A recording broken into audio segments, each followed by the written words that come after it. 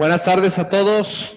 Siendo las 17 horas con 17 minutos del día 3 de febrero del año 2022, se da inicio a la sesión ordinaria de ayuntamiento, por lo que procedo a tomar lista de asistencia. Ciudadano Miguel Ángel Esquivias Esquivias, presente. Ciudadana María Dolores Aceves González. Ciudadano Rigoberto González Gutiérrez. Presente. Ciudadana Karina González Pérez. Presente. Ciudadano Óscar Ornelas Martín. Presente. Ciudadana Beatriz Plasencia Ramírez. Ciudadano Arturo Pérez Martínez. Ciudadana Irma Yolanda García Gómez. Presente. Ciudadano José Mario Íñiguez Franco. Presente. Ciudadana Mireya Franco Barba. Presente. Ciudadano Gerardo Pérez Martínez. Ciudadano Ramón González González. Ciudadano Francisco Javier Aceves Aldrete. Presente. Ciudadana Rosa Adriana Reynoso Valera. Mandó un oficio para justificar su inasistencia. Ciudadana Susana Jaime Mercado. Ciudadana Juliana Arlet Mariata Alvarado Alvarado. Presente. Existiendo quórum, se declara abierta esta sesión ordinaria de ayuntamiento y válidos los acuerdos que en ella se tomen. Antes del desahogo de la presente sesión, solicito se autorice al ciudadano síndico municipal Rigoberto González Gutiérrez, lleva a cabo la función de secretario general de conformidad al artículo 63 de la ley del gobierno y la administración pública municipal del estado de Jalisco, debido a que el secretario no puede estar presente por cuestiones de salud. Les pido levanten su mano si están de acuerdo en aprobar la solicitud presentada. Muchas gracias. Se aprueba por unanimidad.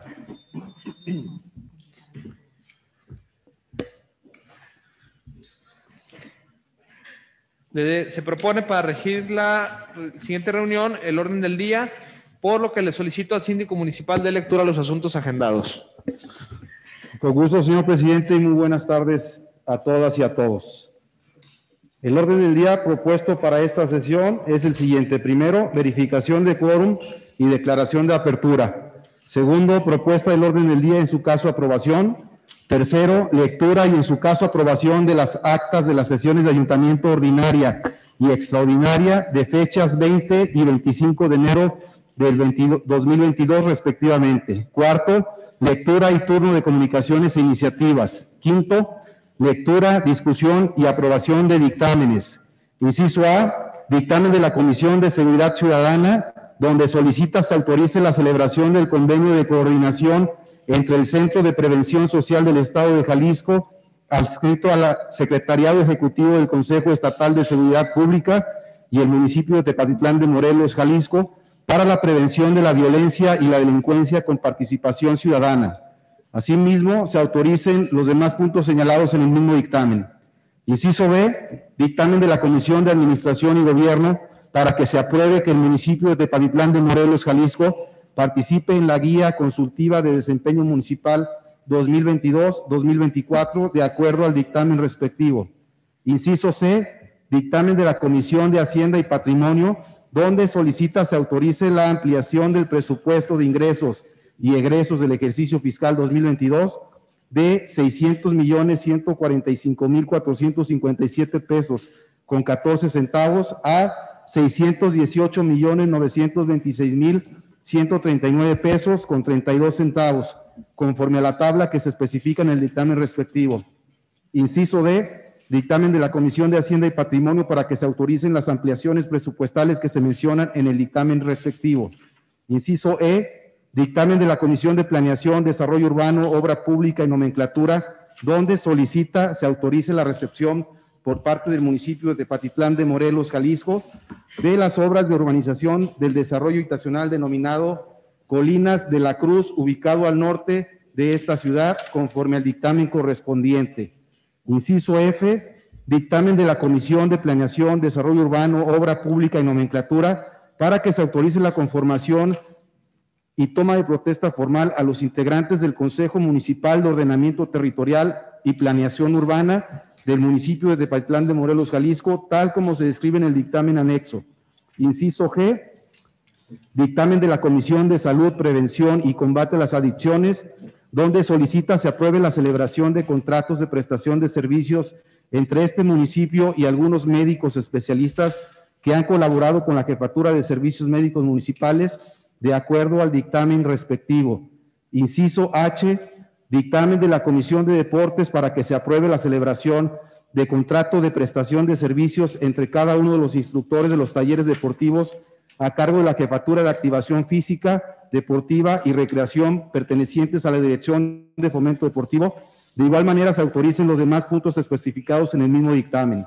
Inciso I, dictamen de la Comisión de Deportes, donde solicita se apruebe el pago de los arbitrajes de la Liga de Fútbol Infantil llevados a cabo en las unidades deportivas Morelos, Juan Martín, Benjamín Pérez Mendoza, El Pipón, Jardines de la Ribera, Campo de Hidalgo y, y Colegio Morelos, con los pagos por categoría como se menciona en el dictamen respectivo, así como los demás puntos ahí señalados.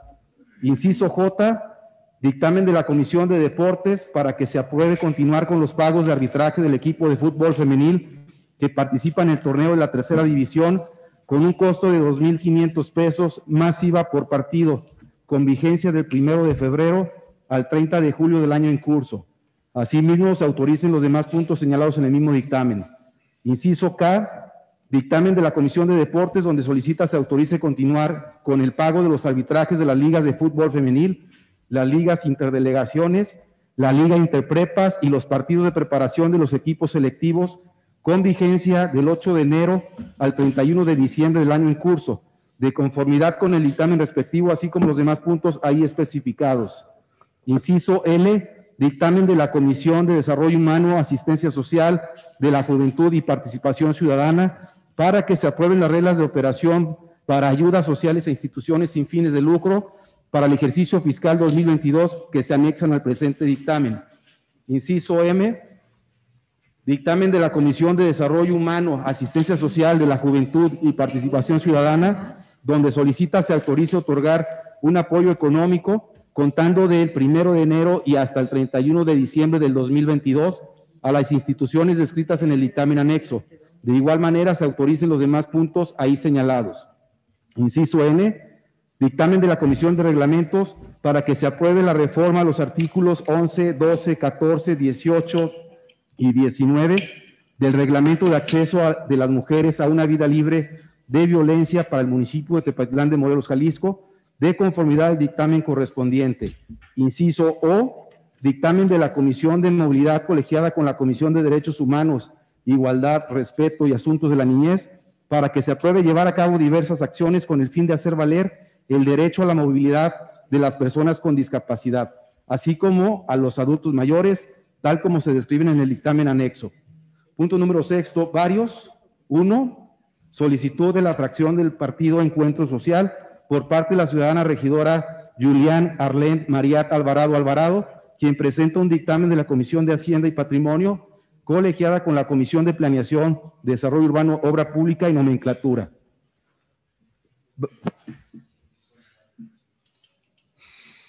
Perdón, fracción del Partido Encuentro Social. Es solidario. Ok, una disculpa, regidora. Eh, se corrige. Vario número dos, solicitud de la fracción del Partido Acción Nacional por parte del ciudadano presidente municipal Miguel Ángel Esquivias Esquivias, quien presenta un dictamen de la Comisión de Hacienda y Patrimonio colegiada con la Comisión de Planeación, Desarrollo Urbano, Obra Pública y Nomenclatura. Vario número tres, Solicitud de la fracción del partido Hagamos por parte del ciudadano regidor Francisco Javier Aceves Aldrete y vario número cuatro, solicitud de la fracción del partido Morena por, de, por parte de la ciudadana regidora Susana Jaime Mercada. Es cuanto, presidente. Muchas gracias, síndico. ¿Alguien tiene alguna pregunta o observación? Muchas gracias. Les pido levanten su mano si están de acuerdo en aprobar el orden del día. Gracias. Se aprueba por unanimidad.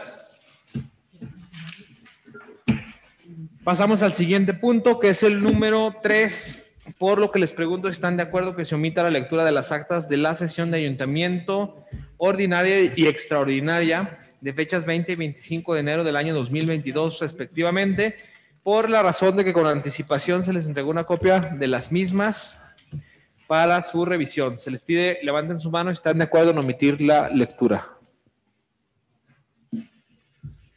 Muchas gracias. De igual forma les pregunto si alguien tiene alguna observación que hacer en el contenido de dichas actas. Gracias. Les pido levanten su mano si están de acuerdo en aprobar el contenido de dichas actas. Gracias. Se aprueba por unanimidad. Continuando con el siguiente punto que corresponde al turno de comunicaciones e iniciativas y en virtud de que no hay, pasamos al siguiente que es el número 5, lectura, discusión y aprobación de los dictámenes, por lo que le solicito al síndico municipal de lectura al inciso A. Con gusto, presidente. Inciso A, dictamen de la Comisión de Seguridad Ciudadana donde solicita, primero, se autorice la celebración del convenio de coordinación entre el Centro de Prevención Social del Estado de Jalisco, adscrito al Secretariado Ejecutivo del Consejo Estatal de Seguridad Pública y el municipio de Tepatlán de Morelos, Jalisco, para la prevención de la violencia y la delincuencia con participación ciudadana. Segundo, la vigencia del convenio antes mencionado será a partir de la autorización del presente punto y concluirá hasta el 30 de septiembre de 2024. Tercero, se faculte a los representantes del municipio Morisco, los ciudadanos Miguel Ángel Esquivias Esquivias y Rigoberto González Gutiérrez en su carácter de presidente municipal y síndico municipal respectivamente para la firma del convenio correspondiente. Es cuanto. Muchas gracias, síndico. Bueno, comentarles que está la solicitud por parte del eh, comisario Roberto Castro para la aprobación y posterior firma del convenio de coordinación entre el Centro de Prevención Social del Estado de Jalisco y el municipio de Tepatitlán de Morelos para la prevención y la violencia, prevención y la delincuencia con la participación ciudadana. Y se anexa una copia de dicho convenio. ¿Alguien tiene algún comentario, alguna pregunta? Muchas gracias. Les pido levanten su mano si están de acuerdo en aprobar el punto expuesto. Gracias. Se aprueba por unanimidad. El acuerdo quedaría de la siguiente manera. Se autoriza la celebración del convenio de coordinación entre el Centro de Prevención Social del Estado de Jalisco, adscrito a la al secretario ejecutivo del Consejo Estatal de Seguridad Pública y el municipio de Tepatlán de Morelos, Jalisco, para la prevención de la violencia y delincuencia con participación ciudadana. Asimismo, se autorizan los demás puntos señalados en el mismo dictamen. Le solicito al síndico municipal de lectura el punto siguiente que corresponde al inciso B.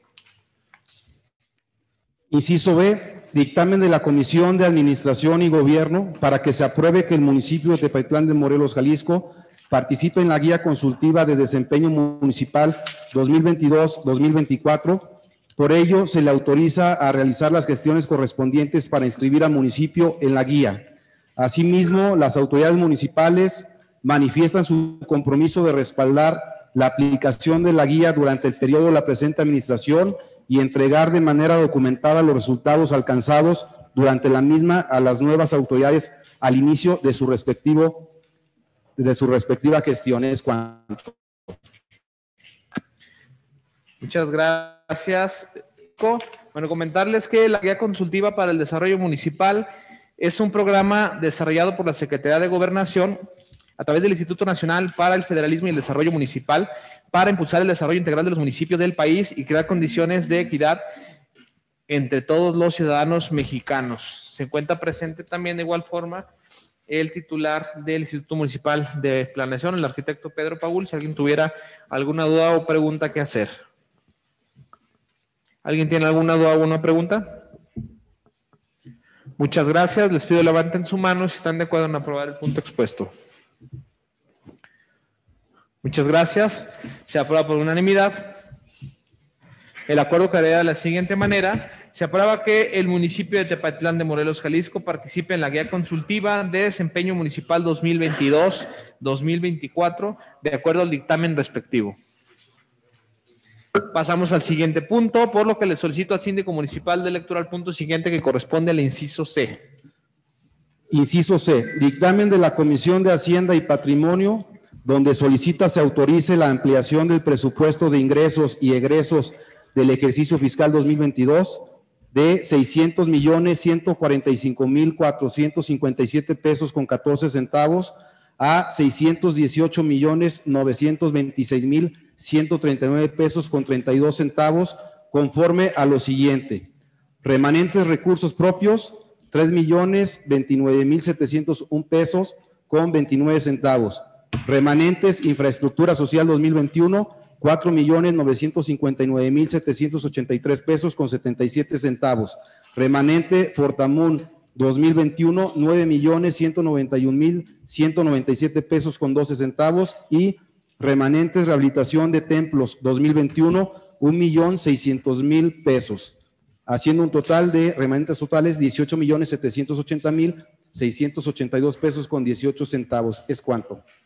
Muchas gracias, síndico. Bueno, como ya lo mencionó, son remanentes del año 2021. Se encuentra presente el licenciado Tanasio Ramírez Torres, encargado de la Hacienda y Tesorero Municipal, por si alguien tuviera alguna duda o pregunta que hacer en este momento. Adelante, regidor.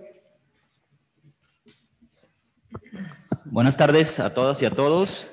Este, con su permiso, presidente, yo tengo aquí una duda que ya había comentado en la comisión y que me dio la tarea de, investigar un poco más, porque creo que eh, se está afectando el presupuesto de ingresos del año 2022 como si estos remanentes fueran un ingreso extra de este año, ¿no? Sin embargo, eh, revisando la lista de los remanentes o a la aplicación que se le dará en el punto siguiente, eh, algunos ya son compromisos adquiridos, o sea, realmente no es un recurso que podamos decir sobró. Entonces, en la evaluación de los, de los eh, ejercicios fiscales, creo que por ahí vamos a tener un problema, porque ya ahorita estaríamos considerando que el municipio tendrá 618 millones de ingresos para ejercer, cuando no es un, no es un ingreso de este ejercicio fiscal. No quiero decir que esté mal, sino que simplemente creo que se puede hacer de alguna manera diferente para poder ir tanto lo que ingresa, lo que egresa del ejercicio fiscal con lo operativo o los compromisos de pago.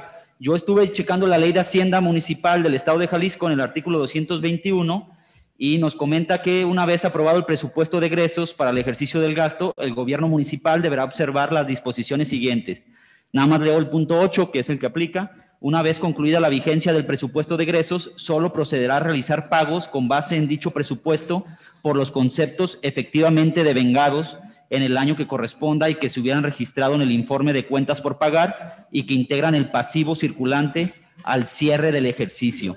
Y algo similar menciona en la, en la ley de, este, para el tema, ahí se me, se me fue el nombre de la ley, eh, la, de disciplina financiera, perdón, ¿no? Algo similar, muy similar, de la ley se va a la ley estatal.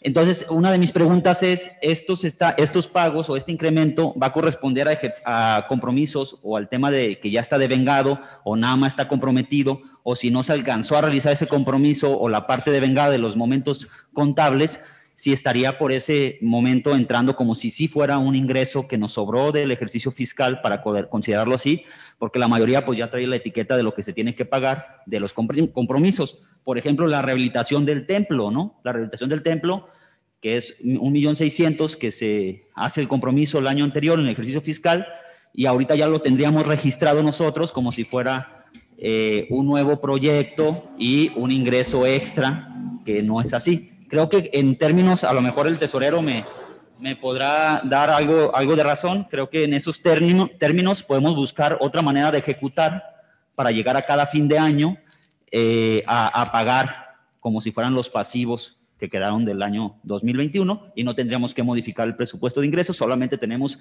el primer trimestre para pagarlos, que eso está en el artículo 17 las entidades federativas, a más tardar el 15 de enero de cada año, deberán reintegrar a la tesorería de la federación las transferencias federales etiquetadas que al 31 de diciembre del ejercicio fiscal inmediato anterior no hayan sido devengadas por sus entes públicos. ¿no? Entonces nos da ese trimestre para el pago como si fuera del ejercicio fiscal anterior, porque eh, hasta visualmente ya ahorita todos podríamos decir que nos llegaron 18 millones más cuando no nos llegaron, ¿no?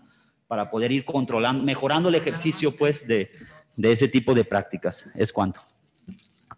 Muchas gracias, regidor. Si están de acuerdo en darle el uso de la voz al encargado de Hacienda y Tesoro Municipal, licenciado Tanasio, por favor, levantar su mano, por favor. Tacho, si nos haces el favor de al lado izquierdo del regidor hay espacio.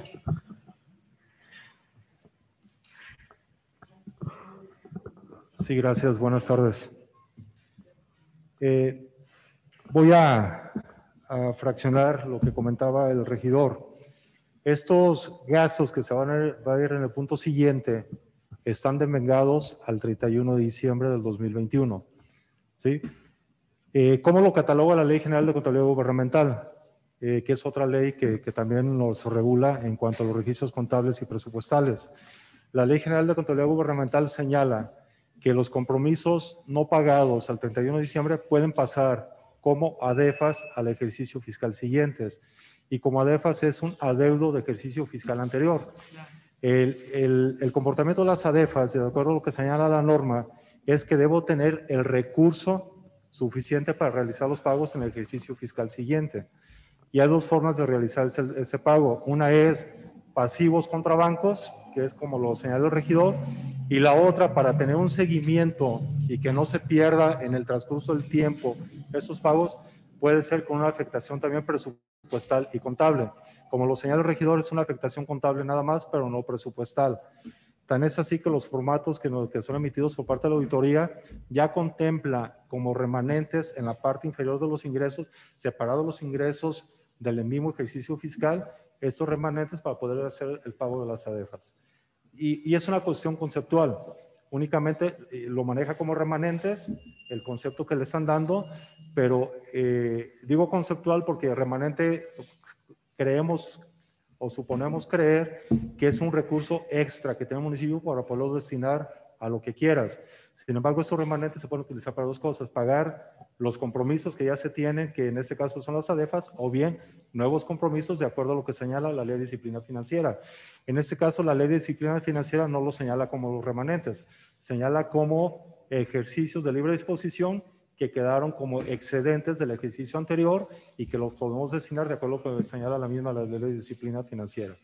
Que para eso, pues posteriormente, conforme en cuanto tengamos el cierre, les vamos a hacer llegar cuáles son esos excedentes que podemos utilizar este, para lo que marca la misma ley. ¿verdad? Muchas gracias, Tacho. ¿Quedó claro, regidor? ¿Tiene otra pregunta? Adelante. Eh, nada más preguntarle aquí al tesorero eh, por qué utilizar la afectación contable y presupuestal y no irnos eh, pasivo contra bancos. ¿Cuál es la, la decisión? Sí. Ok, vuelvo a reiterar, cuando hacemos la afectación contable, pasivos contra bancos, perdemos en el sistema el seguimiento de qué, a qué proveedores estoy haciendo esos, esos movimientos y pierde la hilación de un año con otro. ¿Qué hace el sistema? Ese sistema yo reclasifico las cuentas para el ejercicio fiscal siguiente y continúo desde el origen. Caso contrario, nomás hago una afectación contable, pero en mi sistema contable, el sistema SIAC, queda abierta esa cuenta por pagar y no, no queda concluida. Y, y el manejarlo como lo estamos proponiendo, yo jalo esa cuenta desde el año pasado y termina, si yo entro a la cuenta por pagar, me va a decir que cumplió todo el ciclo y todos los movimientos contables o momentos contables, comprometido, vengado, ejercido y hasta el pagado. Caso contrario, 2022, pagado en 2022. Caso contrario, si yo entro a ese registro, va a quedar truncado en el devengado y va a quedar otro movimiento, otra póliza diferente para el pagado. Es por eso que lo, que lo manejamos de esta manera, para que guarde esa hilación de un año con otro y no lo perdamos. El día de mañana, si se quiere investigar, se quiere solicitar información, entramos a ese registro y nos dice en una sola póliza todos sus movimientos. Eh, bueno, en una sola póliza, no, sino más bien en un solo movimiento nos aplica o nos refleja todos los, todas las pólizas que están relacionadas con ese número de evento. Y caso contrario tendría dos números de eventos y es más difícil poderlo rastrear.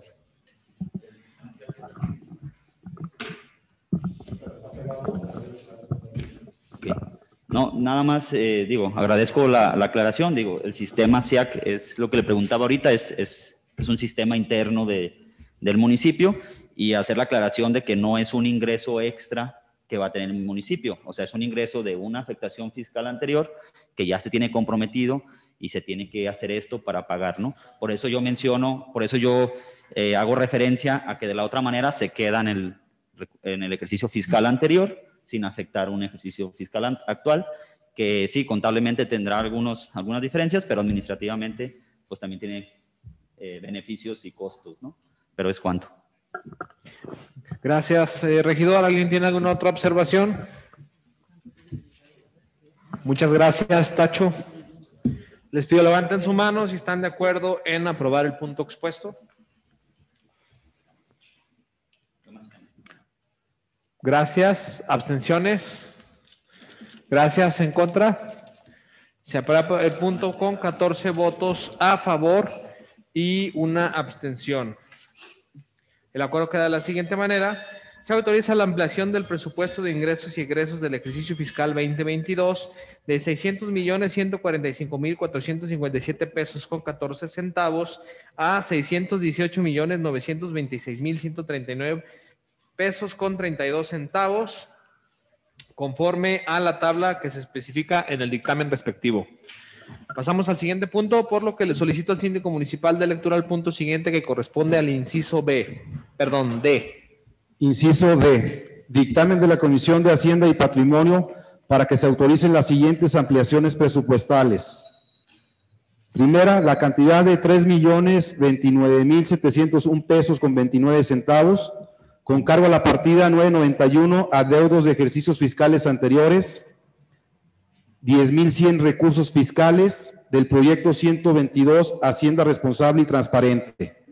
La siguiente, la cantidad de cuatro millones novecientos cincuenta y nueve mil setecientos ochenta y tres pesos con setenta y siete centavos, con cargo a la partida 991 adeudos de ejercicios fiscales anteriores, cincuenta mil ciento veintiuno recurso infraestructura 2021 del proyecto 122 Hacienda Respon- Responsable y Transparente. Siguiente, la cantidad de nueve millones ciento noventa y un mil ciento noventa y siete pesos con doce centavos, con cargo a la partida 991 adeudos de ejercicios fiscales anteriores, 50.221 recurso Fortamun 2021 del proyecto 122 Hacienda Responsable y Transparente. La siguiente, la cantidad de 1.600.000 pesos con cargo a la partida 991 adeudos de ejercicios fiscales anteriores, 60.220 recurso rehabilitación de templos 2021 del proyecto 122 Hacienda Responsable y Transparente. ¿Es cuánto? Muchas gracias, síndico. Bueno, ya en el punto pasado eh, quedó la explicación, lo que mencionaba el, el regidor, ya que son adeudos fiscales del ejercicio anterior. No sé si alguien tenga alguna duda referente a este punto. Muchas gracias. Les pido levanten su mano si están de acuerdo en aprobar el punto expuesto. Gracias. Abstenciones. Gracias. En contra. Se aprueba el punto por 14 votos a favor y una abstención. El acuerdo queda de la siguiente manera. Se autorizan las ampliaciones presupuestales que se mencionan en el dictamen respectivo. Pasamos al siguiente punto, por lo que le solicito al síndico municipal de lectura el punto siguiente que corresponde al inciso E. Inciso E, dictamen de la Comisión de Planeación, Desarrollo Urbano, Obra Pública Nomenclatura, donde solicita se autorice la recepción por parte del municipio de Tepatitlán de Morelos, Jalisco, de las obras de urbanización del desarrollo habitacional denominado Colinas de la Cruz, ubicado al norte de esta ciudad, toda vez que cumple con los requisitos que marca el Código Urbano y demás leyes y reglamentos relativos y aplicables. ¿Es cuánto? Muchas gracias, síndico. Adelante, ciudadano regidor Oscar Ornelas Martín, presidente de la Comisión de Planeación, Desarrollo Urbano, Obra Pública y Nomenclatura, tiene el uso de la voz. Muchas gracias, presidente. Eh, buenas tardes a todos. Bueno, comentar que en relación a este punto, eh, en, su, en el legajo de documentos que se les entregaron, se, se encuentra, se- eh, bueno, está el dictamen del área de ordenamiento territorial urbano a favor, sin ninguna observación. Asimismo, cada una de las constancias positivas de cada una de las dependencias del municipio que tiene injerencia en este tema. Y también comentar que el día de ayer, eh, algunos integrantes de la Comisión de Obra Pública estuvimos eh, presentes en un recorrido en el fraccionamiento donde observamos que en su mayoría eh, estaba conforme a lo que validaban las áreas del ayuntamiento. Igual comentarles que este, este trámite de este desarrollo tiene más, que se empezó en la cuestión administrativa desde ah, tres meses antes de, del año pasado, bueno, antes de la, al final de la administración pasada, y por lo cual eh, tiene como seis meses en espera. Es cuanto. Muchas gracias, regidor. ¿Alguien tiene alguna pregunta o comentario? Adelante, regidor. Eh, buenas tardes. Este, primero, agradecer a- al regidor Oscar por esa visita. Yo creo que fue muy, muy ilustr- ilustrativa y necesaria, no solamente para aprobar este tipo de fraccionamientos nuevos en el papel, sino ir a, ir a verlo. También reconocer que fue un fraccionamiento que no se construyó antes de tener, o sea, no, no había casas construidas ya antes de tener el permiso, como suele suceder. Eh, A mí nada más, eh, obviamente estoy a favor de, de aprobarlo, pero me preocupó una situación que, que la comentamos con el regidor Oscar, que es el tema de las vialidades, conectividades o movilidad. Si ustedes ven el plano que tienen ahí eh, anexo, eh, para entrar a este fraccionamiento solamente hay una calle para entrar y salir. Solamente una calle que es hacia el lado de, de donde está la foránea y hacia el otro lado, hacia el río, que cruzando el río está otro fraccionamiento y después el tablón, hay un puente peatonal que cruza el río. Lo que tendríamos que tener, yo sé que no es parte de, pues, del urbanizador ni, ni, ni les corresponde, pero como ayuntamiento, presidente, encargarle ver la manera de que pudiéramos conectarla por otro lado, a- hacia otro barrio, porque se puede convertir en un problema de seguridad incluso, ¿no? En ese puente peatonal nos tocó en ese momento ver que pasó una moto. Entonces, para que seguridad pueda llegar a ese fraccionamiento nuevo, tiene que dar toda la vuelta, ¿no? Entonces estamos hablando que va a perder a lo mejor 10, 15 minutos y pues si alguien anda en moto o caminando, pues cruza, corre y ya eh, se nos perdió por ahí. Yo creo que es, estamos eh, más adelante proponiendo incluso la creación de, de una oficina de movilidad que vea estos aspectos técnicos, porque pues sí, efectivamente cumple con todo. Por ahí platicamos que el equipamiento de las áreas verdes también lo iban a realizar ya que se empezara a construir las casas para que no estuviera desgastado al momento de que los ciudadanos estén habitando. Pero sí me quedó esa preocupación nada más de ver cómo, no nomás este fraccionamiento, hay muchos que solamente tienen una entrada y salida, como por ejemplo pues la Donato Guerra, ¿no? Que conecta un montón de fraccionamientos que tendríamos que empezar a, a conectar barrios. Ya tenemos el plan in- integral de movilidad urbana sustentable, que vienen algunos barrios por conectar, ¿no? Solamente quería hacer esa observación, eh, es cuanto. Gracias, regidor. Adelante, regidor Oscar. Bueno, eh, comentar que este, ese desarrollo eh, empezó hace aproximadamente 10 años y en la propuesta inicial para el mismo se contempló esa vialidad, pero por decisiones eh, ajenas a esta administración se decidió que no, no se hiciera. Entonces, sí, como lo comentaba el regidor Francisco, una sola, un solo ingreso, una sola salida. Y sí, en su momento se contemplaba para desahogar un poquito aquella zona. Entonces, Sí, yo me quedé con la idea de, pues, de llevarlo este tema a la Dirección de Obras Públicas para contemplarlo, para buscar alguna posible solución. Es cuanto. Muchas gracias, eh, regidor. Eh, comentarle a todo este ayuntamiento y a los regidores que acaban de dar su- sus comentarios, que es un tema que ya está en la mesa con, con el equipo de obras públicas que están aquí. Eh, es el problema no solamente de este fraccionamiento, sino de muchos otros. De hecho, el día de ayer estuvimos caminando algunos terrenos por la tarde, precisamente buscando alternativas a fraccionamientos que presentan problemáticas de, eh, este tipo, que en donde tienen un- una sola entrada al fraccionamiento. Dígase el, el más conocido de, de Tepatitlán, que es el Camino a Santa Bárbara, que ha sido un problema que no, que no, no se previó quizás por, por durante muchas, muchas administraciones y hoy en día se tiene un gran problema de movilidad. Entonces, pues es el caso de muchos fraccionamientos en los que estamos trabajando ya, incluso en la revisión del reglamento, para hacer algunos ajustes de- desde el reglamento y buscando también las alternativas para los problemas que ya tenemos hoy en día, pues ir buscando cuál es la, la solución más eh, adecuada. Igual compartimos la preocupación del regidor y seguiremos trabajando en esta administración para dar las alternativas y buscar las soluciones a los problemas mencionados. No sé si alguien tenga alguna otra observación o comentario. Muchas gracias. Les pido levanten su mano si están de acuerdo en aprobar el punto expuesto. Gracias. Se aprueba por unanimidad.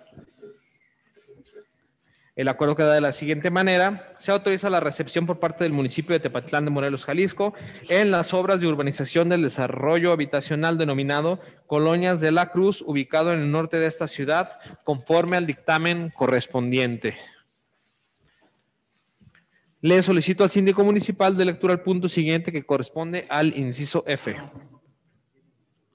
Inciso F, dictamen de la Comisión de Planeación, Desarrollo Urbano, Obra Pública y Nomenclatura para que se autorice la conformación y toma de protesta formal, formal a los integrantes del Consejo Municipal de Ordenamiento Territorial y Planeación Urbana del municipio de Tepatitlán de Morelos, Jalisco, con fundamento en el capítulo segundo, artículo 19, 20 y 21 de la Ley General de Asentamientos Huma- Humanos, Ordenamiento Territorial y Desarrollo Urbano, y en lo establecido en el título segundo, capítulo tercero, sección primera, artículo 10, fracción 35, bueno, sección trigésimo, fracción trigésimo quinta, sección segunda, artículo 11, fracción tercera y en el título tercero, capítulo primero, artículo 37, 46 y 47 del Código Urbano para el Estado de Jalisco, quedando integrando la siguiente, integrado de la siguiente manera. Presidente del Consejo, licenciado Miguel Ángel Esquivias Esquivias, presidente municipal, secretario técnico y miembro honorífico, el arquitecto David Martín del Campo Plasencia, jefe de ordenamiento territorial y urbano, suple al presidente del Consejo en caso de ausencia, consejeros, propietarios, miembros honoríficos, licenciado Rigoberto González Gutiérrez, síndico municipal, y licenciado Juan Miguel de la Mora Franco, suplente, el ingeniero Óscar Ornelas Martín, regidor presidente de la Comisión de Planeación, Desarrollo Urbano, Obra Pública y Nomenclatura, el ciudadano regidor José Mario Íñiguez Franco, suplente, maestro Arturo Pérez Martínez, médico Arturo Pérez Martínez, regidor presidente de la Comisión de Servicios Públicos Municipales, y la ciudadana regidora Mireya Franco Barba como suplente, ingeniero biomédico Francisco Javier Aceves Aldrete, regidor presidente de la Comisión de Movilidad, la ciudadana regidora Karina González Pérez, suplente, la ciudadana Susana Jaime Mercado, regidora presidente de la Comisión de Transparencia, Rendición de Cuentas y Combate a la Corrupción, ciudadana regidora Beatriz Plasencia Ramírez, suplente, el arquitecto Mario Alejandro Gutiérrez Báez, director de Desarrollo Urbano y Obras Públicas, el licenciado en Ingeniería y Arquitectura José de Jesús Reyes Gutiérrez, suplente, el licenciado Juan Enrique Carrillo González, jefe de Catastro Municipal, y el ciudadano José de Jesús Delgadillo Ramírez, suplente, arquitecto Pedro Paul Flores Navarro, jefe de Implan Municipal, la licenciada en Diseño Gráfico Socorro Leticia Barba García, suplente, el licenciado José Luis Gómez Martín, director de Astepa, e ingeniero Francisco de la Mar Gutiérrez, suplente, arquitecto Diego Padilla Sánchez, presidente del Colegio de Arquitectos de los Altos de Jalisco, AC, arquitecto Rodolfo Padilla Orozco, suplente, el ingeniero Víctor Manuel Maciel Padilla, presidente del Colegio Tepatitlense de Ingenieros Civiles de Jalisco, AC, ingeniero Gabriel Romero Ochoa, suplente, el licenciado Rubén Barba Hernández, representante del Colegio de Notario del Estado de Jalisco, licenciado Enrique Casillas Franco, suplente, arquitecto Adrián Delgadillo Navarro, representante de la Universidad de Guadalajara, arquitecto Héctor Cárdenas Monayo, suplente, arquitecto Sergio Martín del Campo Gómez, representante de la Universidad Nueva Ciencia, arquitecto Roberto Franco Rodríguez, suplente, y maestro Carlos Romero Sánchez, representante de la PRODEUR, maestro Rubén Blasco Talabán, suplente. Es cuanto. Muchas gracias, síndico. Adelante, ciudadano regidor Oscar Ornelas Martín, presidente de la Comisión de Planeación, Desarrollo Urbano, Obra Pública y Nomenclatura. Tiene el uso de la voz. Gracias, presidente. Buenas tardes otra vez. Bueno, comentarles que en eh, los documentos adjuntos ah, que nos entregaron se encuentran eh, la ley donde vienen las competencias y atribuciones de este consejo. Asimismo, eh, en, esta sesión se autoriza la conformación, pero la toma de protesta será en la primera sesión de este mismo consejo. Y comentarles que,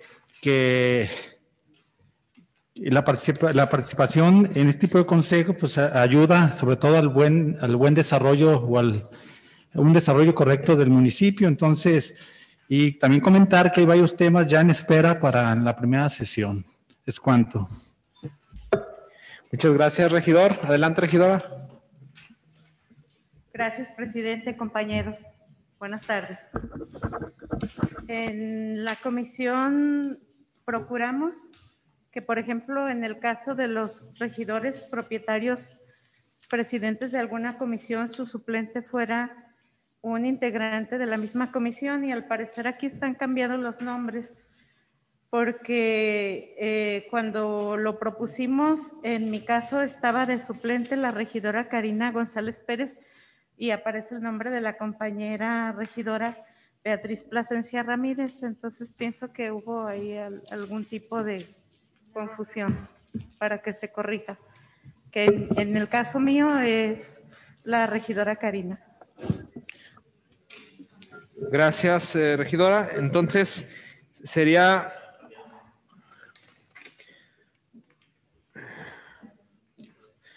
De, como suplente del regidor Francisco Javier Aceves Aldrete, la regidora Beatriz Plasencia Ramírez, y como suplente de la regidora Susana Jaime Mercado, la regidora Karina González Pérez, ¿es correcto?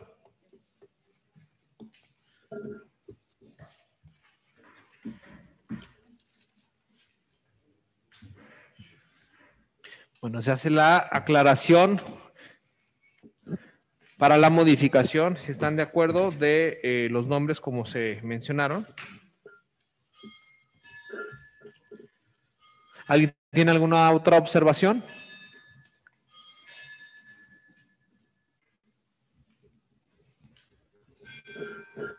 Gracias. Les pido nada más un minuto para leer el capítulo primero.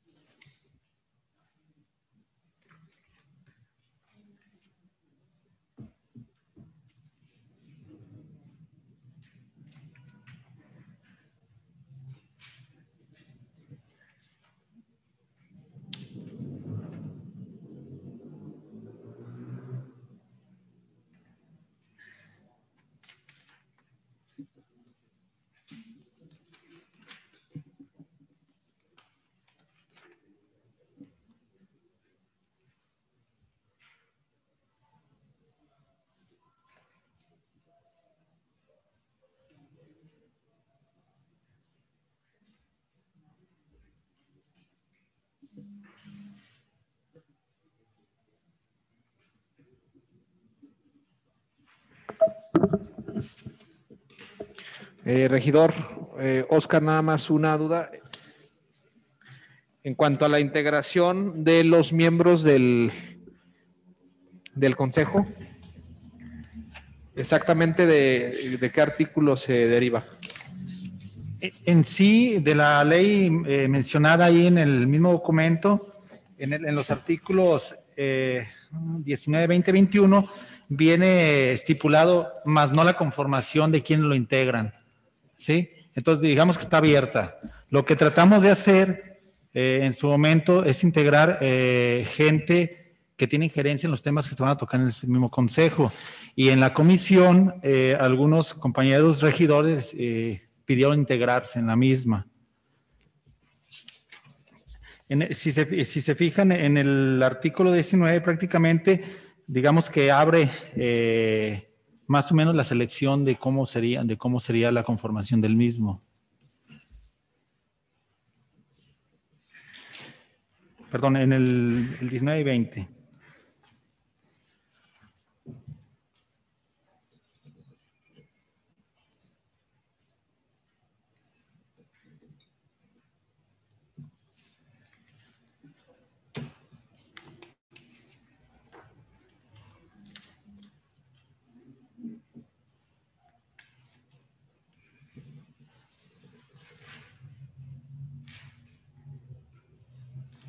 Específicamente en el artículo 20, ahí eh, viene más o menos la conformación, más no un- un- un- una organización específica.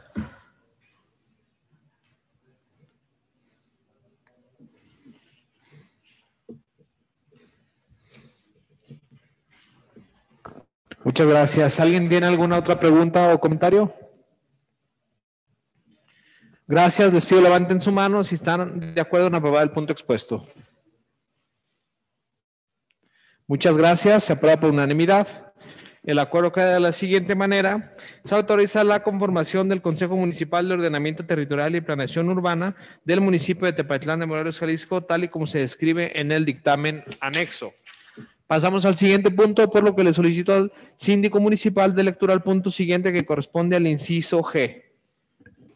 Inciso G, dictamen de la Comisión de Salud, Prevención y Combate a las Adicciones, donde solicita, primero, se apruebe la celebración de contratos de prestación de servicios entre este municipio y algunos médicos especialistas que han colaborado con la Jefatura de Servicios Médicos Municipales.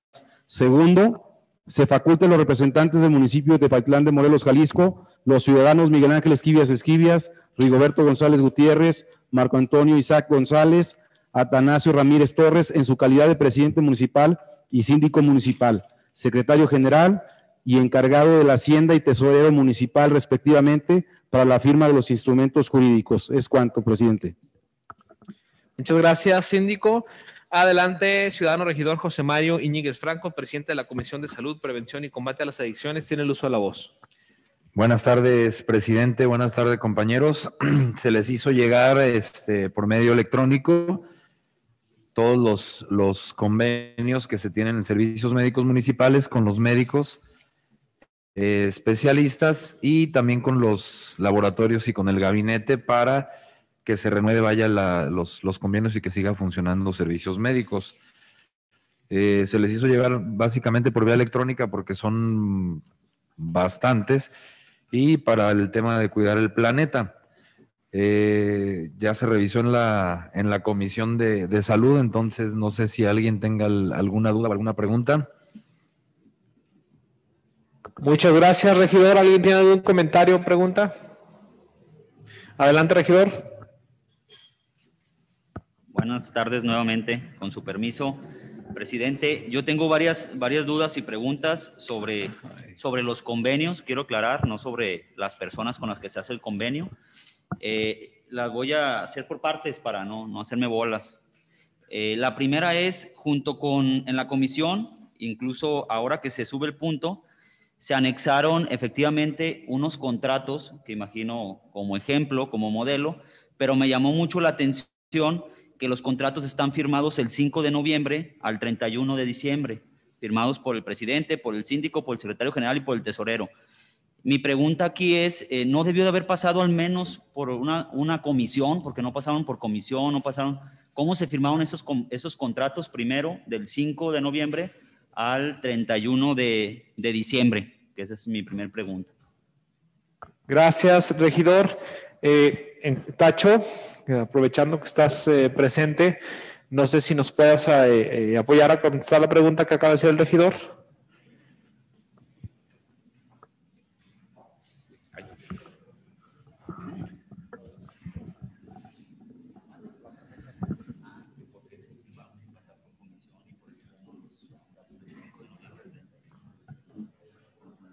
con los médicos. Ok.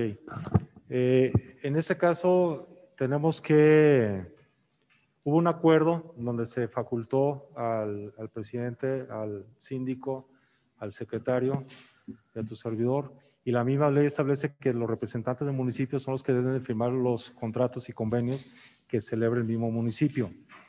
En este caso, lo que se aprobó en el Comité de Adquisiciones eh, fue que se hiciera la contratación de esos servicios con esas personas, porque la ley de adquisiciones del Estado y el mismo reglamento le da esa facultad al Comité de Compras o al Comité de Adquisiciones del municipio. Y de ahí se deriva, por, ende, que todos los servicios deben de tener un, un contrato. Por ejemplo, pasa la contratación de los servicios de publicidad esos contratos no pasan por sesión de ayuntamiento. En automático se elabora el contrato y lo firma el representante legal del municipio. Entonces, eh, dándole cumplimiento a la ley que dice que el, único organismo facultado para autorizar, la contratación de servicios, la adquisición de bienes y demás es el, el comité de compras, por eso se pasó al comité de compras. Muchas gracias, Tacho. Ah, bueno, ahora la pregunta es, eh, ¿por qué ahora sí se sube al pleno y no se va al comité de compras? O sea, ¿cuál va a ser el criterio para este tipo de contratos? No? Gracias, regidor. Adelante, síndico. Muchas gracias. De nueva cuenta, buenas tardes a todas y a todos. Es un tema para darle mayor eh, transparencia a esto. De hecho, yo platicando con el tesorero municipal, Sí, sí le decía que obviamente no vamos a dejar de atender a nuestros servidores públicos y sus familias, sobre todo en el tema eh, médico tan importante que es esto, eh, pero para, que estemos todos enterados y esté, sea más transparente y esté más amarrado, por decirlo así, sí les pedí que todo contrato, incluso vienen otros puntos más adelante, en el tema de, talleres eh, deportivos, etcétera, que todo contrato que hagamos con algún prestador de servicio, en este caso con servicio externo de, médicos, que pasara por comisión y lo aprobara el pleno de ayuntamiento para no tener este, para no dejar ninguna duda al respecto de lo que estamos contratando y con quién lo estamos contratando y por cuánto lo estamos contratando. Es, es por ello, regidor. Muchas gracias. Muchas gracias, síndico. Sí, adelante, regidor. Ah, muchas gracias, síndico. De hecho, por, por, ese oficio que nos hacen llegar de la sindicatura, también por eso me brincó, porque pedía una serie de requisitos para poder generar tipo de contratos y convenios, y de, dentro de ello era el tema del pleno. Y entiendo bien que no se puede dejar sin prestar el servicio, pero esa era mi, una de mis dudas. La siguiente es eh, también agradecer al regidor Mario, porque en el contrato que nos mostraron menciona el anexo 1, eh, referencia de los costos, y en la comisión no nos anexaron, ya me los hicieron llegar. Eh, en esto yo creo, es una propuesta, ¿no? Primero, que al, al contrato, a los contratos, se les anexe este tabulador, pero como parte del municipio. ¿A qué me refiero? Si ustedes ven los tabuladores que me hizo llegar, o los costos, o las cotizaciones que me hizo llegar el regidor Mario, son, son propuestas del médico. ¿Sí me explico? No son parte de que sean parte de un anexo del convenio donde venga el, tabulador como tal de los servicios a prestar. Hay algunos que mandan como los laboratorios, ¿no? Su hoja membretada con todos sus servicios, pero hay algunos que mandan nada más una receta y nos ponen eh, costo de consulta 500 y firman la receta, ¿no? Y eso se pone como anexo 1. Yo creo que al momento de hacer el convenio, eh, pongamos como parte del contrato los anexos de acuerdo a eh, lo que presenta el tabulador. Otra de las observaciones que tengo es que la propuesta de convenio no tiene fecha de término. Tendríamos que ponerle una fecha de término si va a ser por toda la administración o va a ser por un año. Yo propongo que lo hagamos solamente por el momento de seis meses. ¿Por qué? Eh, generalmente cuando hablamos de salud se manejan tabuladores. Si ustedes van al hospital regional, si van al IMSS, hay tabuladores en los que se hace el convenio necesitamos hacer un estudio de mercado muy bien definido para poder aperturar los servicios de salud y tener el municipio, porque conozco al director y sé de su capacidad y voluntad, para que el municipio emita un tabulador al que cualquier médico pueda postular sus servicios, ¿no? Que sea un tabulador propuesto por el municipio conforme a nuestra capacidad de pago y al historial del mercado y al estudio del mercado para que ya quede el antecedente de que los servicios médicos municipales tienen un tabulador de lo que cuestan las especialidades, ¿no? Entonces, eh, esto fomentaría, como dice el regidor eh, Chacho, la participación y la apertura, porque yo también cuestionaba de cómo se, cómo se seleccionan los laboratorios, cómo se seleccionan a los, a los médicos especialistas, porque hay especialidades que son invasivas y que el, trabajador tiene que tener la libertad de poder elegir a su, al médico tratante, al médico de confianza, ¿no? Por ejemplo, eh, un ginecólogo, ¿no? No podemos nada más decirle, tienes tres opciones, elige, porque es, es, una parte invasiva para el trabajador que me gustaría darle la libertad de que pudieran elegir a su médico conforme a un tabulador y que los médicos acepten prestar el servicio a los servicios médicos municipales, ¿no? Yo sé que es una propuesta que se tiene que trabajar más a fondo, eh, por eso yo propongo no, no irnos a hacer el convenio hasta el término de la administración para que nos permita analizar y poder mejorar, a lo mejor hacer una convocatoria. Esto lo manejaba muy bien, no quiero hablar bonito del Seguro Popular, pero lo manejaba Seguro Popular con sus convenios con privado, donde eh, también exigía un mínimo de nivel de calidad en la atención de la salud, ¿no? Te decía, si cumples esto, podemos hacer un convenio y yo pago a tanto los, los servicios. Y eso nos podría, porque hay muchas maneras de que un trabajador pueda elegir a un médico, incluso hasta que sea el más cercano que le queda de su casa para poder brindar los servicios. Esas serían mis observaciones y comentarios. Es cuanto. Muchas gracias. Regidor. Adelante, regidor Mario. Eh, comentando lo del regidor Francisco, se me hace una muy buena propuesta. Eh, básicamente a mí me gustaría por un año, no por seis meses. A mí en lo personal creo que va un poquito más allá. Sin embargo, mm, para que entrara cualquier médico sí sería un poquito complicado. Habría que checar en los reglamentos y a lo mejor hay que ajustar los reglamentos, que era lo que precisamente estábamos platicando la, en la comisión para ajustar precisamente ese tipo de tabuladores. Si el paciente quiere ir con su médico de confianza, nosotros como ayuntamiento únicamente le pagamos tal cantidad dependiendo del que ya tenemos como el, por decir, mi esposa no quiere ir con el ginecólogo fulano porque ya tiene el suyo.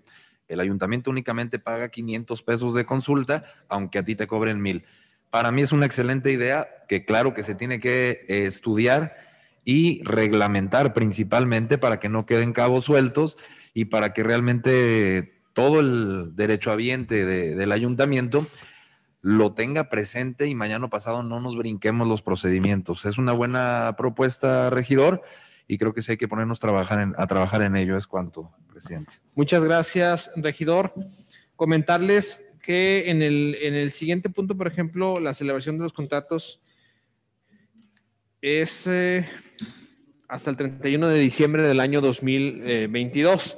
De igual forma, se puede dejar la propuesta, como ya mencionó el regidor Mario, para que se revise en la Comisión de Salud y en este caso se le dé una mejor forma para que se pueda hacer una actualización.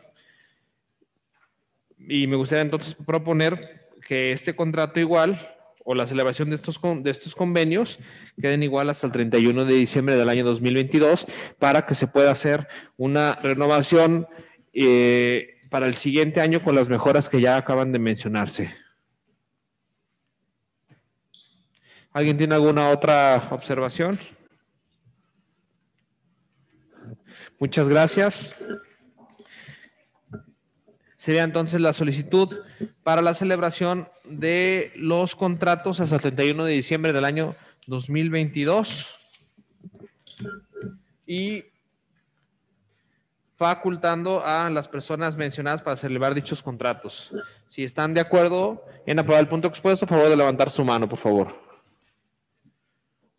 Muchas gracias. Se aprueba por unanimidad. El acuerdo queda de la siguiente manera. Se aprueba la celebración de contratos de prestación de servicios entre el municipio y algunos médicos especialistas que han colaborado con la Jefatura de Servicios Médicos Municipales de acuerdo al dictamen respectivo y a la aclaración mencionada. Pasamos al siguiente punto, por lo que lo solicito al síndico municipal de lectura al punto siguiente que corresponde al inciso H. Inciso H, primero, perdón, inciso H, dictamen de la Comisión de Deportes para que primero se apruebe la celebración de contrato de prestación de servicios entre cada uno de los instructores de los talleres deportivos a cargo de la Jefatura de Activación Física, Deportiva y Recreación pertenecientes a la Dirección de Fomento Deportivo. Segundo, se faculta a los representantes del municipio de Tepatitlán de Morelos, Jalisco, los ciudadanos Miguel Ángel Esquivias Esquivias, Rigoberto González Gutiérrez, Marco Antonio Isaac González y Atanasio Ramírez Torres, en su calidad de presidente municipal, síndico municipal, secretario general y encargado de la Hacienda y tesorero municipal, respectivamente, para la firma del instrumento jurídico con vigencia del 3 de enero al 31 de diciembre de 2022. Tercero, el pago será de 85 pesos por hora laborada a cada instructor. Dicho pago se erogará del proyecto 58, escuelas y talleres deportivos, cuenta 339 pago de instructores de las escuelas y los talleres municipales. ¿Es cuánto? Muchas gracias, síndico. Adelante, ciudadana regidora Juliana Arlet María Alvarado Alvarado, presidenta de la Comisión de Deportes. Tiene el uso de la voz. Muchas gracias, señor presidente. Buenas tardes a todos mis compañeros. Pues bueno, eh, igual que el punto de mi compañero Mario, es para poder eh, renovar los contratos de prestación de servicios entre los instructores que tenemos de los talleres deportivos que están a cargo de fomento deportivo. Esto será eh, por el proyecto 58, escuelas y talleres deportivos de la cuenta 339, un punto que también ya lo vimos en, comisión antes de que llegara al pleno. Es cuanto, presidente. Muchas gracias. Regidora, ¿alguien tiene alguna pregunta, observación? Adelante, regidor Gerardo. Entonces, la regidora Susana. Gracias, presidente. Buenas tardes. Nada más comentarle, aquí está el tesorero o a usted, presidente, si este monto es masiva, si, si los, ah, las personas que van a dar estos talleres eh, tienen, le van a, va, a ser, va a ser pago con factura o va a ser en efectivo, porque de otra manera eh, el ayuntamiento tendría que darles una, un recibo, ¿no? Nomás es preguntar si es masiva o, o es el pago total. Gracias, regidor. Regidor, no sé si tenga la respuesta, sino aprovechando que está el tesorero que nos mencione. Sí, eh, ese, sí es con factura, todo, todos, los todos los instructores facturan. ¿Pero es, mas- es masiva o iba incluido? Eso, sí, no, no sé. Ahorita le preguntamos al tesorero. Sí, eh, Tacho, ¿nos haces eh, el favor de contestar, por favor? Sí. Eh, en los contratos siempre se establece la cantidad masiva y en ese sentido nos dan un recibo de prestación de servicios las personas que, que son contratadas. Pero todos los montos son, son masivas al momento de otorgarnos el recibo fiscal.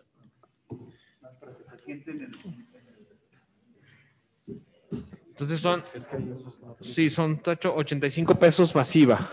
Sí, 85 pesos masiva. ¿Se, No- se no se emite contempla- una factura? ¿Perdón? ¿Se emite una factura por cada recibo, prestador de una factura. En el caso de retención, me- me decía el regidor, no, son- no retenemos IVA porque no somos sujetos este, como ente público y la retención de ICR la aplicamos en aquellos que nos presentan la documentación que corresponde a la retención de ICR y se hace el cálculo, el cálculo perdón, en la misma cuenta por pagar aplicando la retención, pero parte de- del monto este que, que señala el contrato, ¿no? Muchas gracias, Tacho. Igual nada más agregar la aclaración entonces que menciona el regidor Gerardo, son 85 pesos más IVA. Por hora laborada. Adelante, regidora Susana. Gracias, con permiso, presidente, compañeros. Preguntarle a la regidora Yuli, eh, ¿por qué al igual si es una prestación de un servicio o aunque sea diferente, así como lo fue con el compañero Mario, que señala los nombres y los convenios, eh, aquí no tenemos nombres, solamente lo que se va a pagar, o a menos que sí lo haya anexado y no, no me di cuenta porque me está fallando mi correo. En la comisión lo vimos, regidora, eh, están actualizando la lista. Lo que pasa es que ahorita no están activos porque, como saben, pues todos los talleres eh, deportivos quedaron ahorita cerrados. Entonces estamos actualizando la lista, quedaron de enviárnosla entre el día lunes y martes, ya actualizada. ¿Es cuánto? Entonces se sometería luego a acuerdo quiénes son o cómo. Pues es que aquí nada más es el convenio con los, con los, con los que tenemos activos. en este, en este momento. Pero ahorita le, sí. Ok, Gracias. Adelante, regidor. Bueno, va en ese sentido que comentaba la regidora Susana. Igual aquí también el síndico nos puede aclarar, porque entonces no tendríamos que aprobarlo si el presupuesto del proyecto 58 en la cuenta, bueno, el presupuesto 58 ya lo tiene eh, Fomento, ¿no? Fomento Deportivo lo tiene cargado a sus cuentas y si ellos van a decidir a quién y bajo qué términos, pues no tenemos nada que votar, ¿no?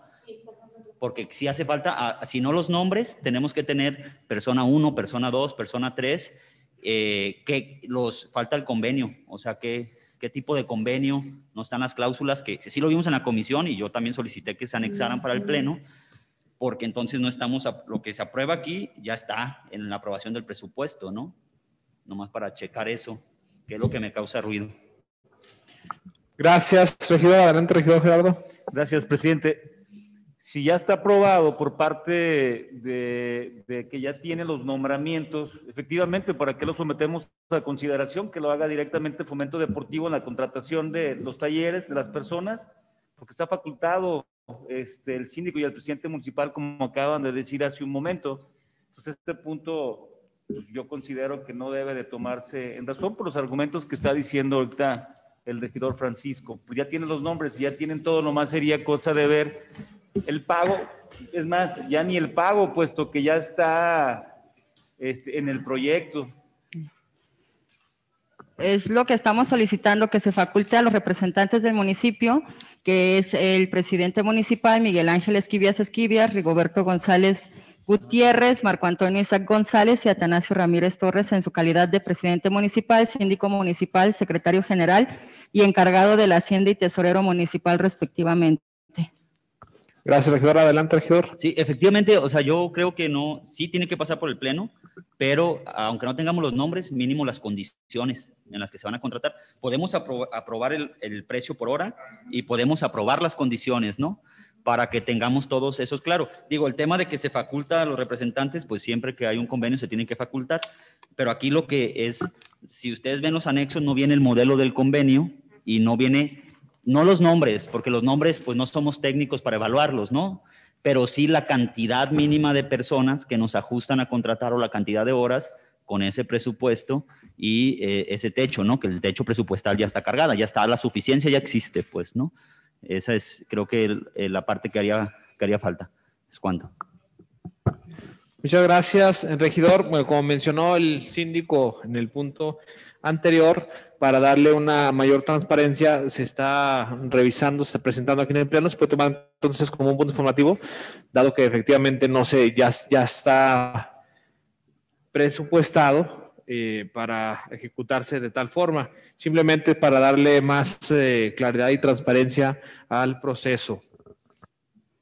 Adelante, síndico. Muchas gracias. Bueno, si bien es cierto que bien pudimos no traer estos puntos aquí, eh, también es cierto que sí se debe de acompañar, obviamente, pues la lista de, de las personas y una copia del convenio, como lo hemos hecho eh, con otras cosas, ¿no? Yo aquí sí pediría este, que se votara este punto a favor, pero obviamente quedando pendiente que se les envíe o que se nos envíen ese listado y ese convenio, en el sentido de que bien pudimos no subirlo y nosotros hacerlo a través del comité de, de adquisiciones, pero para darle, insisto, más transparencia, que lo aprobemos nosotros como pleno, pero para en otras ocasiones estos puntos y acompañarlos, sobre todo la copia de, de ese convenio, como en los servicios médicos municipales con los prestadores de servicios, ¿no? Muchas gracias. Muchas gracias, síndico. ¿Alguien tiene alguna otra? Adelante, regidor. Sí, sobre todo, digo, aquí el síndico no me dejará mentir. Hubo en la administración pasada un problemita cuando empi- comienza la pandemia, sobre todo, que es muy importante revisar las cláusulas de esos convenios para no afectar el día de mañana. No sé si recuerdas que a los prestadores de servicios de cultura, como venía una cláusula que decía, en caso de catástrofe, pandemia, bla, bla, bla, se les va a rescindir el contrato. Y de la noche a la mañana les quitaron el pago, ¿no? Entonces yo creo que es muy importante revisar el convenio, las cláusulas, para no afectar a los compañeros que laboren como prestadores de servicio en ese tipo de, no sabemos qué pueda pasar el día de mañana, ¿no? Por eso es lo que Yo creo que sí se tiene que votar el precio y el convenio y ya las personas que se van a adherir a estos convenios, pues ya las tendrán que evaluar en lo deportivo, ¿no? No, no tanto en, en el nombre, ¿no? Es cuanto. Gracias, regidor. Eh, ¿Alguien tiene algún otro comentario? Muchas gracias. Eh, Les pido entonces levanten su mano si están de acuerdo en aprobar el punto expuesto. Gracias. ¿Abstenciones? ¿En contra? Se aprueba el punto con 13 votos a favor y dos abstenciones. El acuerdo queda de la siguiente manera.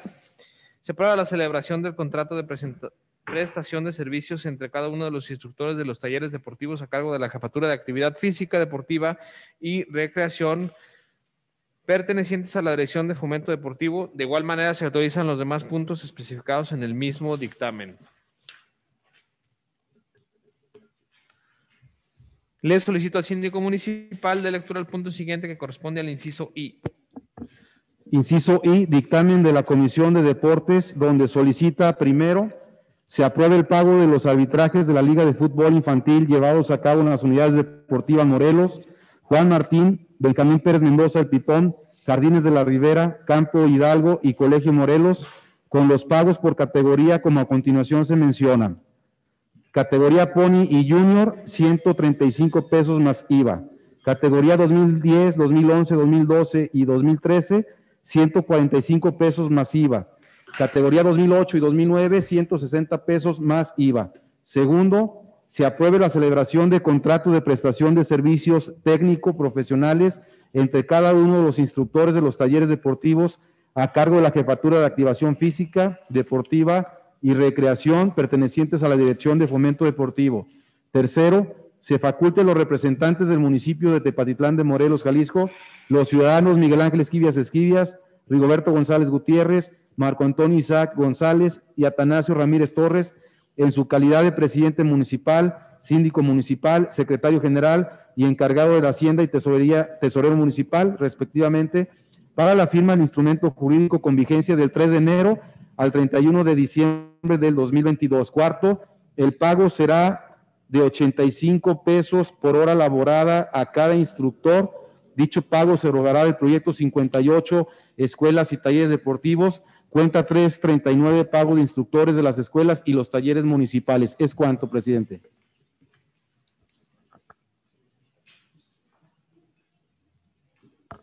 Muchas gracias. Síndico, adelante, ciudadana regidora Juliana Led María Alvarado Alvarado, presidenta de la Comisión de Deportes, tiene el uso de la voz. Gracias, señor presidente. Pues bueno, se hace la petición eh, para que se autorice y que se continúe con el pago de los arbitrajes de la Liga de Fútbol Infantil, así como la elaboración del contrato respectivo con vigencia del, del 3 de enero al 31 de diciembre del 2022, llevado a cabo en, los servi- en las unidades deportivas Morelos, Juan Martín, Benjamín Pérez Mendoza, Jardines de la Ribera, Campo Hidalgo, Colegio Morelos, con los pagos de la categoría eh, Pony Junior 2010, 2011, 12, 13. Cabe señalar que estos apoyos permiten que en la actualidad la Liga Infantil, que cuenta con más de 100 equipos participando, donde se activa un aproximado de 2.800 niños de edad entre los 3 y los 13 años. Es cuanto, presidente. Muchas gracias, regidora. Creo que hay un error a la hora de, eh, de hacer el dictamen porque menciona un cuarto punto donde menciona que el pago será de 85 pesos por hora laborada y en el punto primero, eh, pues da ya los pagos por categoría. Eh, entonces, creo que el- el punto número cuarto, regidora, si no me equivoco, creo que está de más. Está de más, sí. Es correcto, ¿no? Sí, hay que quitarlo. Sí, es, es nada más el primero, segundo y tercero. No sé, digo, creo que así lo dictaminaron en la comisión o creo que se les haya No, no, pasado no, este un está de cuarto punto.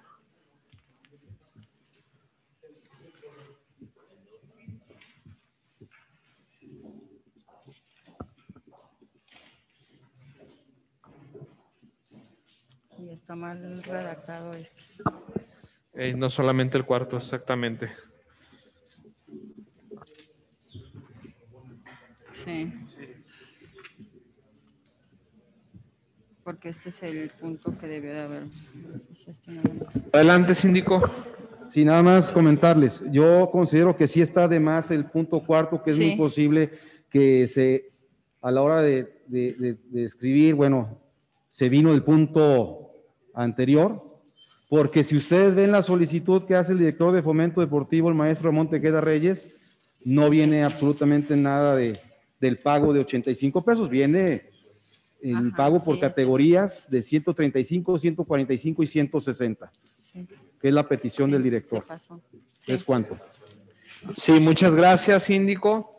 Entonces, eh, si están de acuerdo en que se elimine el punto cuarto presentado, ya que evidentemente es eh, un error. Adelante, regidor. Adelante, regidor Arturo. Sí, buenas tardes a todos. Considero que lo, lo que deberíamos de aprobar es precisamente el dictamen que viene en la siguiente página, donde es el es único prácticamente lo que se solicita y es únicamente lo de la, el pago de los arbitrajes con Sí, es los esto. montos establecidos de acuerdo a las categorías, que es que quedó precisamente el dictamen Solamente el punto primero. más bien hubo un error en la realización del oficio dirigido a la Secretaría General, donde se confundió con el punto anterior. Y nos quedaron Sí. puntos de los- de los dictamen que se dio en la comisión, si es exclusivo para medio de no del pago de los arbitrajes de las deudas Parece bien igual.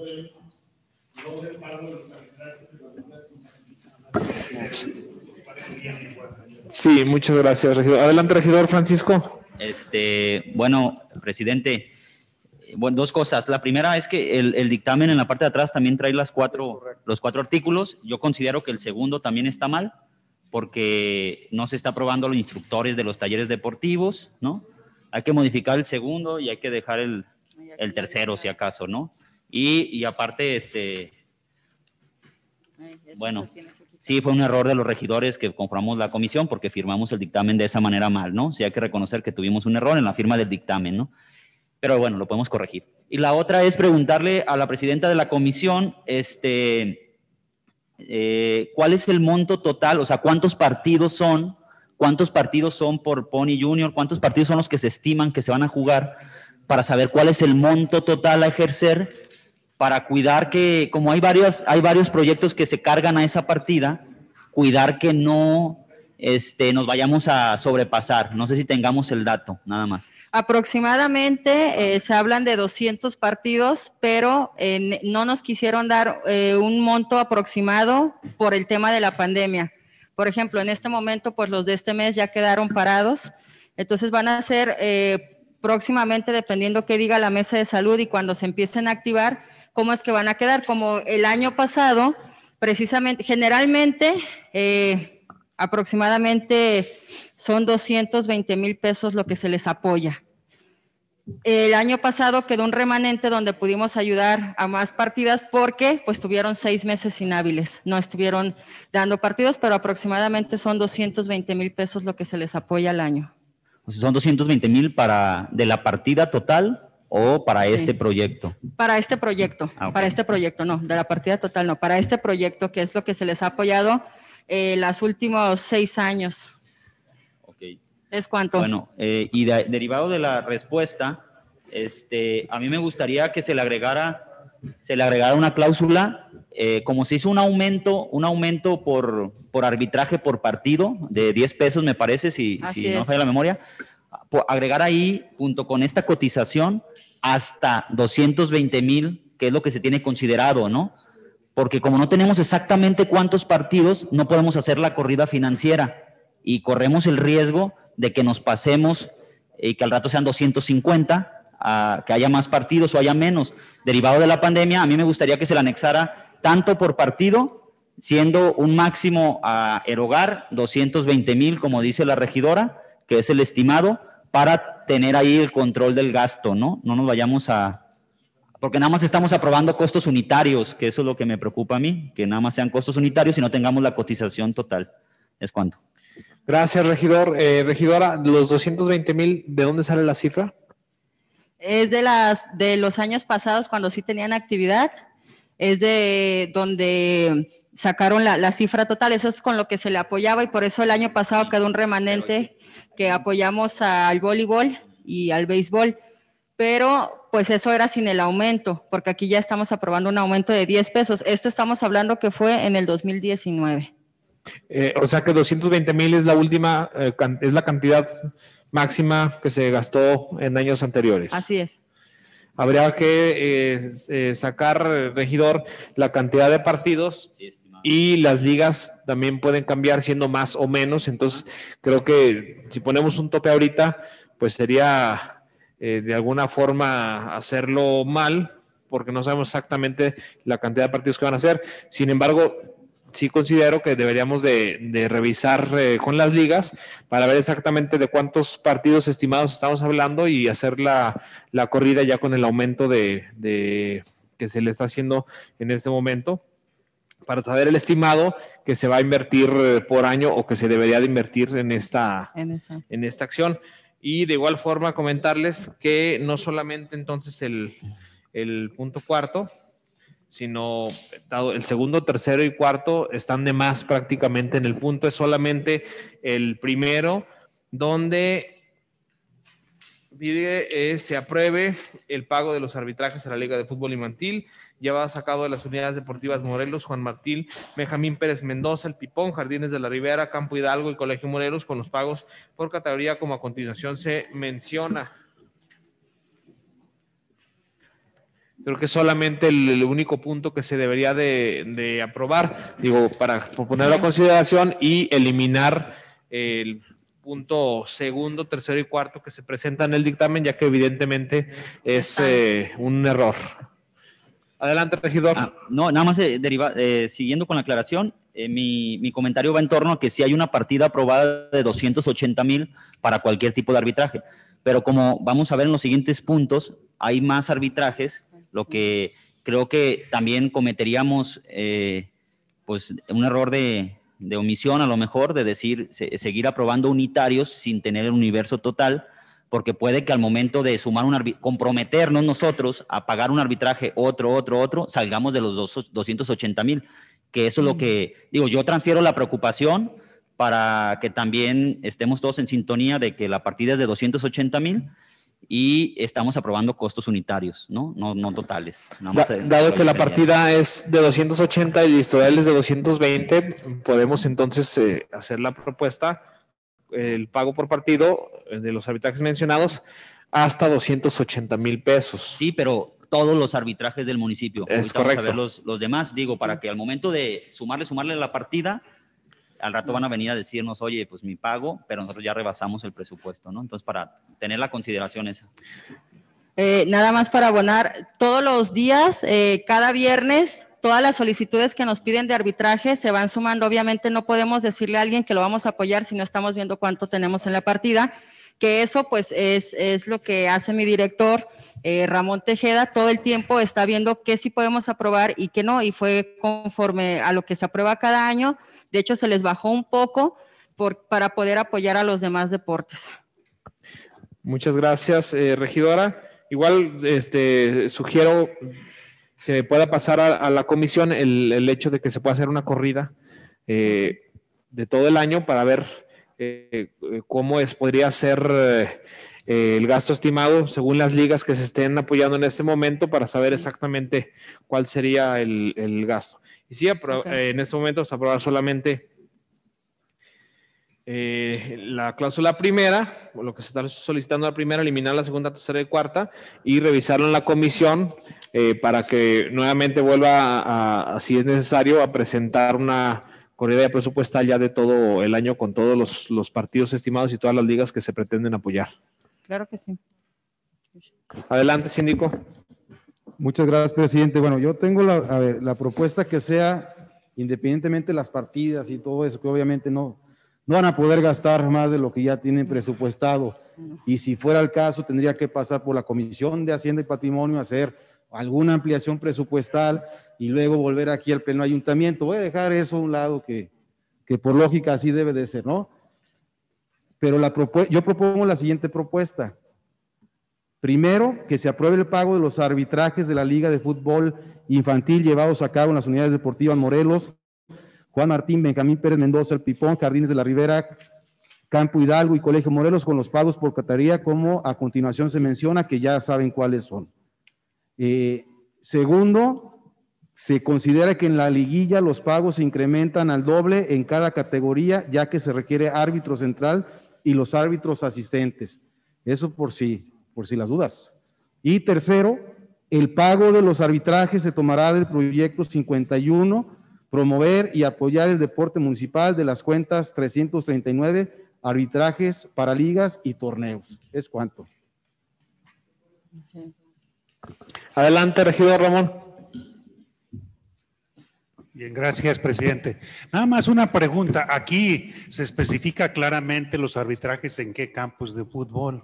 Y yo quiero pensar, si en Capilla de Guadalupe nos piden eh, pagar a un árbitro, no se les va a apoyar porque nada más se está apoyando en estas unidades o de o cómo se manejaría allá, ¿no? o allá sí tienen para pagar sus árbitros. Adelante, regidora. Son, estas son las solicitudes que nos llegan por año, pero cada semana nos están llegando y, por ejemplo, por ponerlo, eh, el mes de diciembre se apoyó con 40 mil pesos a un, por arbitraje de voleibol en Capilla de Guadalupe. A todos se les apoya. Esta es la liga más grande que tenemos, nada más para que se den una idea, son 2.800 niños y es la que siempre llega al principio de año pero claro que sí, ahorita aquí tengo los demás arbitrajes que llegaron, este, las demás solicitudes. Y bueno, conforme va corriendo el año o la temporada, depende de la liga en que estén, eh, se les apoya a todos, se les trata de apoyar este, de, de la manera que, que, se pueda, viendo que, que realmente existan las ligas, que sí estén participando los niños. Esa es la tarea que nos damos en, en Fomento Deportivo. Es cuanto. Muchas gracias, regidora. No sé si quedó claro, regidor. De igual forma, cuando haya la solicitud, se revisa, por supuesto, que se apoyan todas las. Son de las solicitudes al, al día de hoy. Sí, al día de hoy. Muchas gracias. ¿Alguien tiene otra pregunta? Les pido levanten su mano si están de acuerdo en aprobar el punto expuesto, como lo acaba de mencionar el síndico municipal. Si puedes dar lectura nuevamente, por favor, a cuál sería la propuesta final. Claro que sí. La propuesta final es la siguiente. Primero, se aprueba el pago de los arbitrajes de la Liga de Fútbol Infantil llevados a cabo en las unidades deportivas Morelos, Juan Martín, Benjamín Pérez Mendoza, El Pipón, Jardines de la Ribera, Campo Hidalgo y Colegio Morelos con los pagos por categoría como a continuación se menciona. Categoría Pony Junior, 135 pesos masiva. Categoría 2010, 2011, 2012 y 2013, 145 pesos masiva y categoría 2008 y 2009, 160 pesos masiva. Segundo, en caso de llegar a la liguilla, los pagos se incrementan al doble en cada categoría, ya que se requiere árbitro central y los árbitros asistentes. Y tercero, el pago de los arbitrajes se tomará del proyecto 51, promover y apoyar el deporte municipal de la cuenta 339, arbitrajes para ligas y torneos. Es cuanto.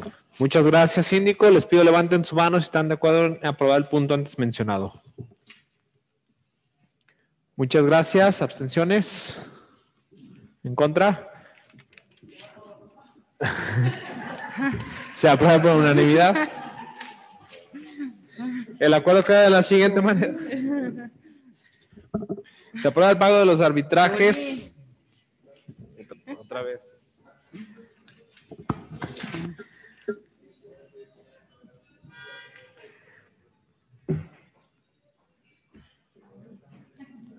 Se aprueba el pago de los arbitrajes de la Liga de Fútbol Infantil, así como la elaboración del contrato respectivo de vigencia al 3 de enero al 31 de diciembre del año 2022, llevando a cabo los servicios a la Unidad Deportivas Morelos, Juan Martín, Benjamín Pérez, Mendoza, El Pipón, Jardines de la Ribera, Campo Hidalgo y Colegio Morelos, con los pagos por categoría como a continuación se menciona. Pony Junior 135 pesos masiva, categoría 2010, 11, 12 y 13, 145 pesos masiva, categoría 2008 y 2009, 160 pesos masiva. Segundo, en la liguilla los pagos se incrementan al doble en cada categoría, ya que se requiere árbitro central y, árbitros asistentes. Y tercero, el pago de los arbitrajes se tomará del proyecto 51 y pro- promover y apoyar al deporte municipal de la cuenta 339, arbitrajes para ligas y torneos. Le solicito al síndico municipal de lectura al punto siguiente que corresponde al inciso J. El inciso J, dictamen de la Comisión de Deportes para que, primero, se apruebe continuar con los pagos de arbitraje del equipo de fútbol femenil que participa en el torneo de la tercera división con un costo de 2.500 pesos masiva por partido con vigencia del primero de febrero al 30 de julio del año en curso. Segundo, dicho pago se erogará del proyecto 51, promover y apoyar el deporte municipal, cuenta 339, arbitrajes para ligas y torneos. Tercero, se apruebe la celebración de contrato de prestación de servicios técnicos profesionales. Cuarto, se faculte los representantes del municipio de Tepatitlán de Morelos, Jalisco, los ciudadanos Miguel Ángel Esquivias Esquiva, Rigoberto González Gutiérrez, Marco Antonio Isaac González y Atanasio Ramírez Torres, en su calidad del presidente municipal, síndico municipal, secretario general y encargado de la Hacienda y Tesorería Municipal, respectivamente, para la firma del instrumento jurídico con vigencia del 3 de enero al 31 de diciembre de 2022. Muchas gracias, síndico. Adelante, regidora Juliana Arlet María Alvarado Alvarado, presidenta de la Comisión de Deportes, tiene el uso de la voz. Gracias, señor presidente. Pues bueno, también este pago ahora es para la Liga de Fútbol Femenil que participa en el torneo de tercera división. El arbitraje tiene un costo de 2.500 pesos masiva por partido y la vigencia es del primero de febrero al 30 de julio del año en curso. Nada más este, como información, se tienen proyectados 17 partidos. Todo esto dependiendo de, de la pandemia, si, si los deje continuar o no. Es cuanto. Muchas gracias, regidora. Nada más eh, preguntarle el costo, ya que evidentemente pues es, es eh, mayor, ya que es de una categoría más profesional, eh, preguntarle el historial del 2019, me imagino es el último, o ahí del 2020. En el 2020 no hubo, en el 2019 sí, y estos son los costos que nos están dando ya ellos eh, con, del 2021. Este fue el costo que sacó Ramón Tejeda. Y bueno, están participando 12 equipos diferentes y es hasta el 30 de julio que se acaba esta, este Gracias, torneo. regidora. ¿Y sabemos el costo del 2019? No, pero ahorita se lo investigo. Muchas gracias, regidora. Adelante, regidor.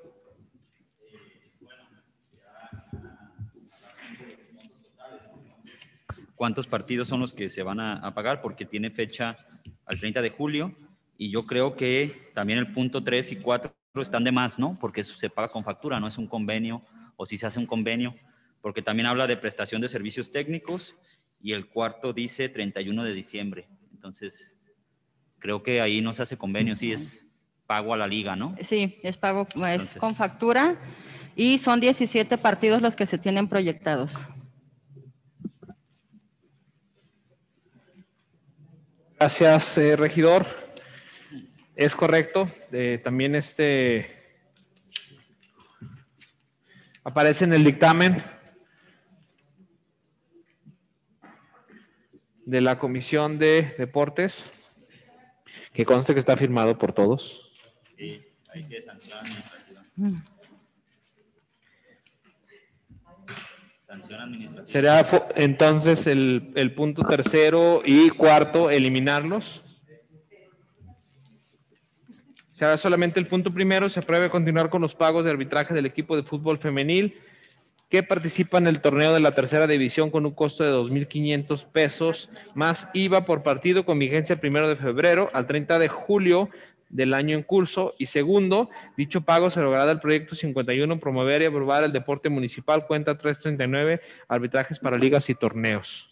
¿Alguien tiene alguna otra observación? Muchas gracias. Les pido levanten su mano si están de acuerdo en aprobar el punto expuesto. Gracias. Se aprueba por unanimidad. El acuerdo queda de la siguiente manera. Se aprueba continuar con los pagos de arbitraje del equipo de fútbol femenil que participa en el torneo de la tercera división con un costo de 2.500 pesos más IVA por partido con vigencia del 1 de febrero al 30 de julio del año en curso con las actualizaciones antes mencionadas. Asimismo, se utilizan los demás puntos señalados en el dictamen con las correcciones señaladas. Pasamos al siguiente punto, por lo que le solicito al síndico municipal de lectura al siguiente punto que corresponde al inciso K. Inciso K, dictamen de la Comisión de Deportes, donde solicita primero se autorice continuar con el pago de los arbitrajes de las ligas de fútbol femenil, las ligas interdelegaciones, la liga interprepas y los partidos de preparación de los equipos selectivos con vigencia del 8 de enero al 31 de diciembre del año en curso. Los pagos de, acuerdo a las categorías quedarían de la siguiente manera. Liga Femenil, Femenil Regional, categoría libre, 400 pesos masiva. Categoría juvenil, 300 pesos masiva. Liga Interdelegaciones, categoría femenil, 200 pesos más IVA. Categoría varonil, 180 pesos más IVA. Liga Interprepas, 180 pesos más IVA. Y partidos selectivos, 400 pesos más IVA. Segundo, dicho pago se erogará del proyecto 51, promover y apoyar el deporte municipal, cuenta 339, arbitrajes para ligas y torneos. Tercero, se apruebe la celebración de contratos de prestación de servicios técnicos profesionales. Cuarto, se faculte a los representantes del municipio de Tepaitlán de Morelos, Jalisco, los ciudadanos Miguel Ángel Esquivias Esquivias, Rigoberto González Gutiérrez, Marco Antonio Isaac González y Atanasio Ramírez Torres en su calidad de presidente municipal, síndico municipal, secretario general y encargado de la Hacienda y tesorero municipal, respectivamente para la firma del instrumento jurídico con vigencia del 3 de enero al 31 de diciembre del 2022. Es cuanto, presidente. Gracias, síndico. Adelante, regidora Juliana Arlet María de Alvarado Alvarado, presidenta de la Comisión de Deportes, tiene el uso de la voz. Perdón, gracias, presidente. Y pues bueno, es en el, en el mismo rubro. Ahora vamos con las ligas interdelegaciones, que aquí es donde entran todas las delegaciones, el, el interprepas y los partidos de preparación de los equipos selectivos. Esto sí sería con vigencia del 8 de enero al 31 de diciembre, ya que los equipos selectivos, como por ejemplo el que ahora nos va a representar en Copa Jalisco, pues sí tienen que estar entrenando todo el año. Se tienen proyectados 78 partidos, que fueron los que en el 2019, sin embargo, pues no sabemos, todo depende de, de, de la pandemia. Es cuanto. Muchas gracias, regidora. Eh, de igual forma, creo que el, el punto tercero y cuarto eh, están de más también. Solamente sería el punto primero y segundo de los antes mencionados por el, el síndico municipal. Mm, Yo nada más una, una pregunta, ya que veo que todos los pagos son distintos. Eh, por ejemplo, de las ligas interdelegaciones, la femenil cuesta 200 pesos, la varonil 180 la categoría libre 400, eh, los partidos selectivos igual 400 y la interprepas eh, 180 pesos.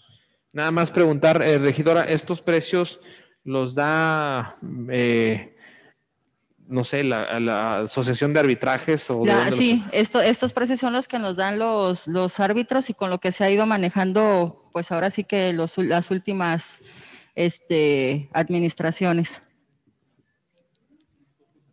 Son los costos actuales.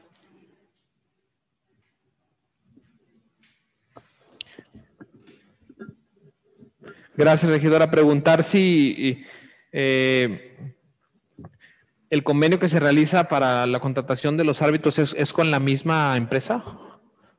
No, todos son, eh, algunos, los que son regionales, eh, me parece que es de, de una asociación y los demás eh, creo que sí son de la misma empresa. Las ligas manejan sus, sus, sus propias árbitros, entonces. o- Sí, hay algunos que, o, hay, o a veces no tenemos suficiencia en la, en la, en el municipio y necesitamos traer este de, de Guadalajara. Muchas gracias. ¿Alguien tiene una pregunta? Adelante, regidor. Eh, yo también la misma, la misma pregunta de los otros dos puntos. Eh, en el punto I hablábamos de 220 mil aproximadamente. En el punto J son 17 partidos de 2.500 masiva, que son aproximadamente 50 mil. Ya nada más nos quedarían 10 mil para este punto. Yo creo que sí tenemos que aplicar muy bien el control del gasto, sobre todo porque Yo estoy a favor de aprobar los costos unitarios, pero necesitamos una corrida de los totales, porque si no, si caemos nosotros en, en no, pues estamos aprobando algo que no vamos a poder pagar el día de mañana, pues, ¿no? Por eso creo que el decir todos los partidos se va a complicar, nada más es cuánto. Gracias, eh, regidor. De igual forma, regidor, ahí se lo puede eh, revisar, con, Sí. igual con el director, para pedir una corrida presupuestal de, de todo el año según la cantidad de partidos mencionados. Y yo sí pediría nada más el, el historial de, de pago de estas categorías, nada más para, para hacer el comparativo con, con los precios vigentes. Perfecto, solicitamos la información, presidente. Gracias. Eh, ¿Alguna otra pregunta? Muchas gracias. Les pido levanten su mano si están de acuerdo en aprobar el punto expuesto. Sería el punto primero y segundo, nada más, ya que el tercero y cuarto se eliminan. Muchas gracias. Se aprueba por unanimidad. El acuerdo queda de la siguiente manera. Se autoriza a continuar con el pago de los arbitrajes de las ligas de fútbol femenil las ligas interdelegaciones, la liga interprepas y los partidos de preparación de los equipos selectivos con vigencia del 8 de enero al 31 de diciembre del año en curso, de conformidad con el dictamen respectivo, así como los demás puntos especificados y las modificaciones mencionadas. Pasamos al siguiente punto, por lo que le solicito al síndico municipal de lectura al punto siguiente que corresponde al inciso L. Inciso L, dictamen de la Comisión de Desarrollo Humano, Asistencia Social de la Juventud y Participación Ciudadana para que se aprueben las reglas de operación para ayudas sociales a instituciones sin fines de lucro para el ejercicio fiscal 2022 que se anexan al presente dictamen. Es cuanto. Muchas gracias. Síndico, adelante, ciudadana regidora María Dolores Aceves González, presidenta de la Comisión de Desarrollo Humano, Asistencia Social de la Juventud y Participación Ciudadana, tiene el uso de la voz. Buenas tardes, compañeros. Con su permiso, señor presidente. Este punto es para la autorización de las reglas de operación para las ayudas sociales a instituciones sin fines de lucro para el ejercicio fiscal 2022. ¿Es cuánto? Muchas gracias, regidora. ¿Alguien tiene alguna duda, comentario?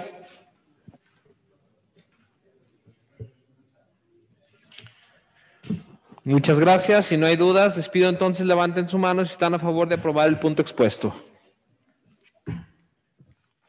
Muchas gracias. Se aprueba por unanimidad de los presentes. Pasamos al, eh, perdón, el acuerdo queda de la siguiente manera. Se aprueban las reglas de operación para ayudas sociales e instituciones sin fines de lucro para el ejercicio fiscal 2022 que se anexan del presente dictamen. Pasamos al siguiente punto, por lo que le solicito al síndico municipal de lectura al punto siguiente que corresponde al inciso M. Inciso M, dictamen de la Comisión de Desarrollo Humano, Asistencia Social de la Juventud y Participación Ciudadana, donde solicita primero se autorice otorgar un apoyo económico contando del primero de enero y hasta el 31 de diciembre del 2022 a las siguientes instituciones. Uno, Procuraduría Social, apoyo mensual 3.500, anual 42.000. Dos, maestras Pías de Rimini AC, 15 mil pesos mensuales, 180 mil anuales. Tres, internado Juan Escuti AC, 5 mil mensuales, 60 mil anuales. Cuatro, compartir hermano AC, 5 mil mensuales, 60 mil anuales. Quin- Cinco, luz y amor, latiendo con un mismo corazón, 6 mil mensuales, 72 mil anuales. Seis, deseos del corazón apoyando al autismo, 6 mil 500 mensuales, 78 mil anuales. Siete, Tepatitlán empezando a vivir AC, 2 mil mensuales, 24 mil anuales. Ocho, Centro de Desarrollo para Jóvenes Señor de la Misericordia AC, 6 mil 500 mensuales, 78 mil anuales. Nueve, Banco de Alimentos de Tepa, 5 mil mensuales, 60 mil anual. Diez, Asociación Nacional Pro Superación AC, ANSPAC, 3 mil mensuales, 36 mil anual. Once, Sala de Revelación Misión San Francisco Javier, 3 mil mensuales, 36 mil anual. Doce, Espacio Grato para la Tercera Edad AC, 20 mil mensuales, 240 mil pesos anual. 13, Centro de Cooperación para Adicción Trinita AC, 4 mil mensuales, 48 mil anual. 14, Centro de Integración para Jóvenes en Adicción antes que AC, 2 mil mensuales, 44 mil anual. 15, Centro de Integración para Jóvenes antes que AC, extensión para menores de edad 10 a 17 años, 2 mil mensuales, 24 mil anual. 16, Centro de Integración para Jóvenes en Adicción antes que AC, extensión mujeres, 2 mil mensuales, 24 mil anual. 17, Salud Integral de los Altos AC, 6 mil mensuales, 72 mil anual. 18, Hogar Ana María Casillas AC, 6 mil 500 mensuales, 78 mil anual. 19, Inclusión con Felicidad AC, 4 mil mensuales, 48 mil anual. 20, Cruz Roja Pegueros, 3 mil 500 mensuales, 42 mil anual. 21, Cruz Roja San José de Gracia, 3.500 mensuales, 42.000 anual. 22, Cruz Roja Capilla de Guadalupe, 3.500 mensuales, 42.000 anual. 23, Cruz Roja Tepatitlán, 15.000 pesos mensuales, 180.000 pesos anual. 24, Patronato de Bomberos, 19.500 mensuales, 234.000 pesos anual. 25, Auxiliares de la Salud, 12.800 mensuales, 153.600 anual, 26 casas de reposo, Teresa de Calcuta AC, 10.000 mensuales, 120.000 anual, pintados de número 27 pintados de azul, 5.000 mensuales, 60.000 anual, dando un total de 179.800 pesos mensuales, 2.157.600 pesos anual. Segundo, dichas cantidades se tomarán del presupuesto de egresos 2022 del proyecto 2, Municipio Solidario a las Necesidades Sociales, partida 445, ayudas sociales a instituciones sin fines de lucro. Tercero, de igual manera se autoriza otorgar un apoyo económico en una sola exhibición a las siguientes instituciones. Uno, Maestras Pías de Hermini Predial, apoyo de 20 mil pesos. Dos, Fundación Teletón México AS, con un apoyo de 200 mil pesos, haciendo un total de 220 mil pesos. Y cuarto, los montos asignados a las instituciones antes citadas se erogarán del presupuesto de egresos 2022 del proyecto 2, Municipio Solidario a las Necesidades Sociales, partida 445, ayudas sociales e instituciones sin fines de lucro. Es cuanto, presidente. Muchas gracias, síndico. Adelante, ciudadana regidora María Dolores Aceves González, presidenta de la Comisión de Desarrollo Humano, Asistencia Social de la Juventud y Participación Ciudadana. Tiene el uso de la voz.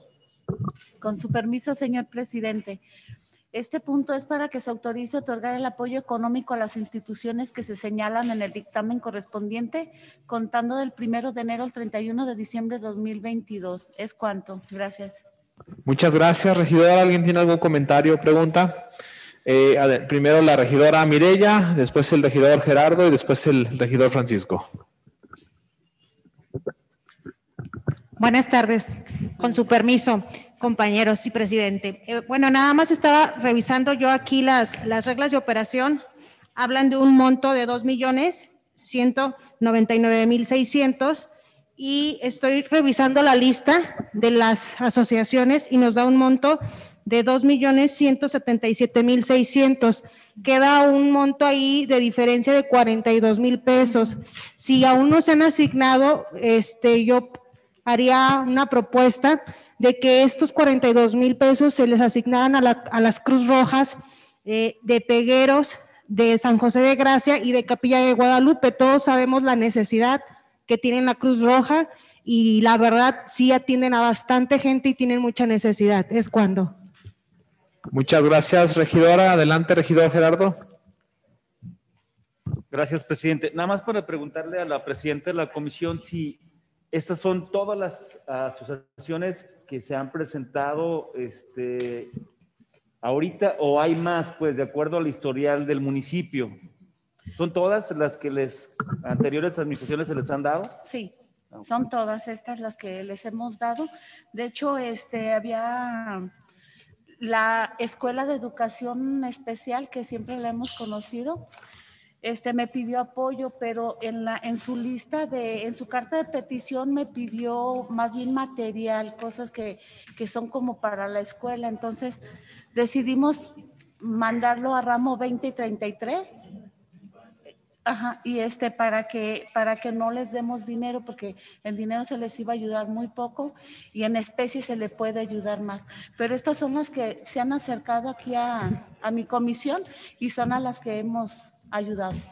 Entonces, ¿ha rechazado algunas instituciones? No, ninguna. Ok, Ninguna. gracias.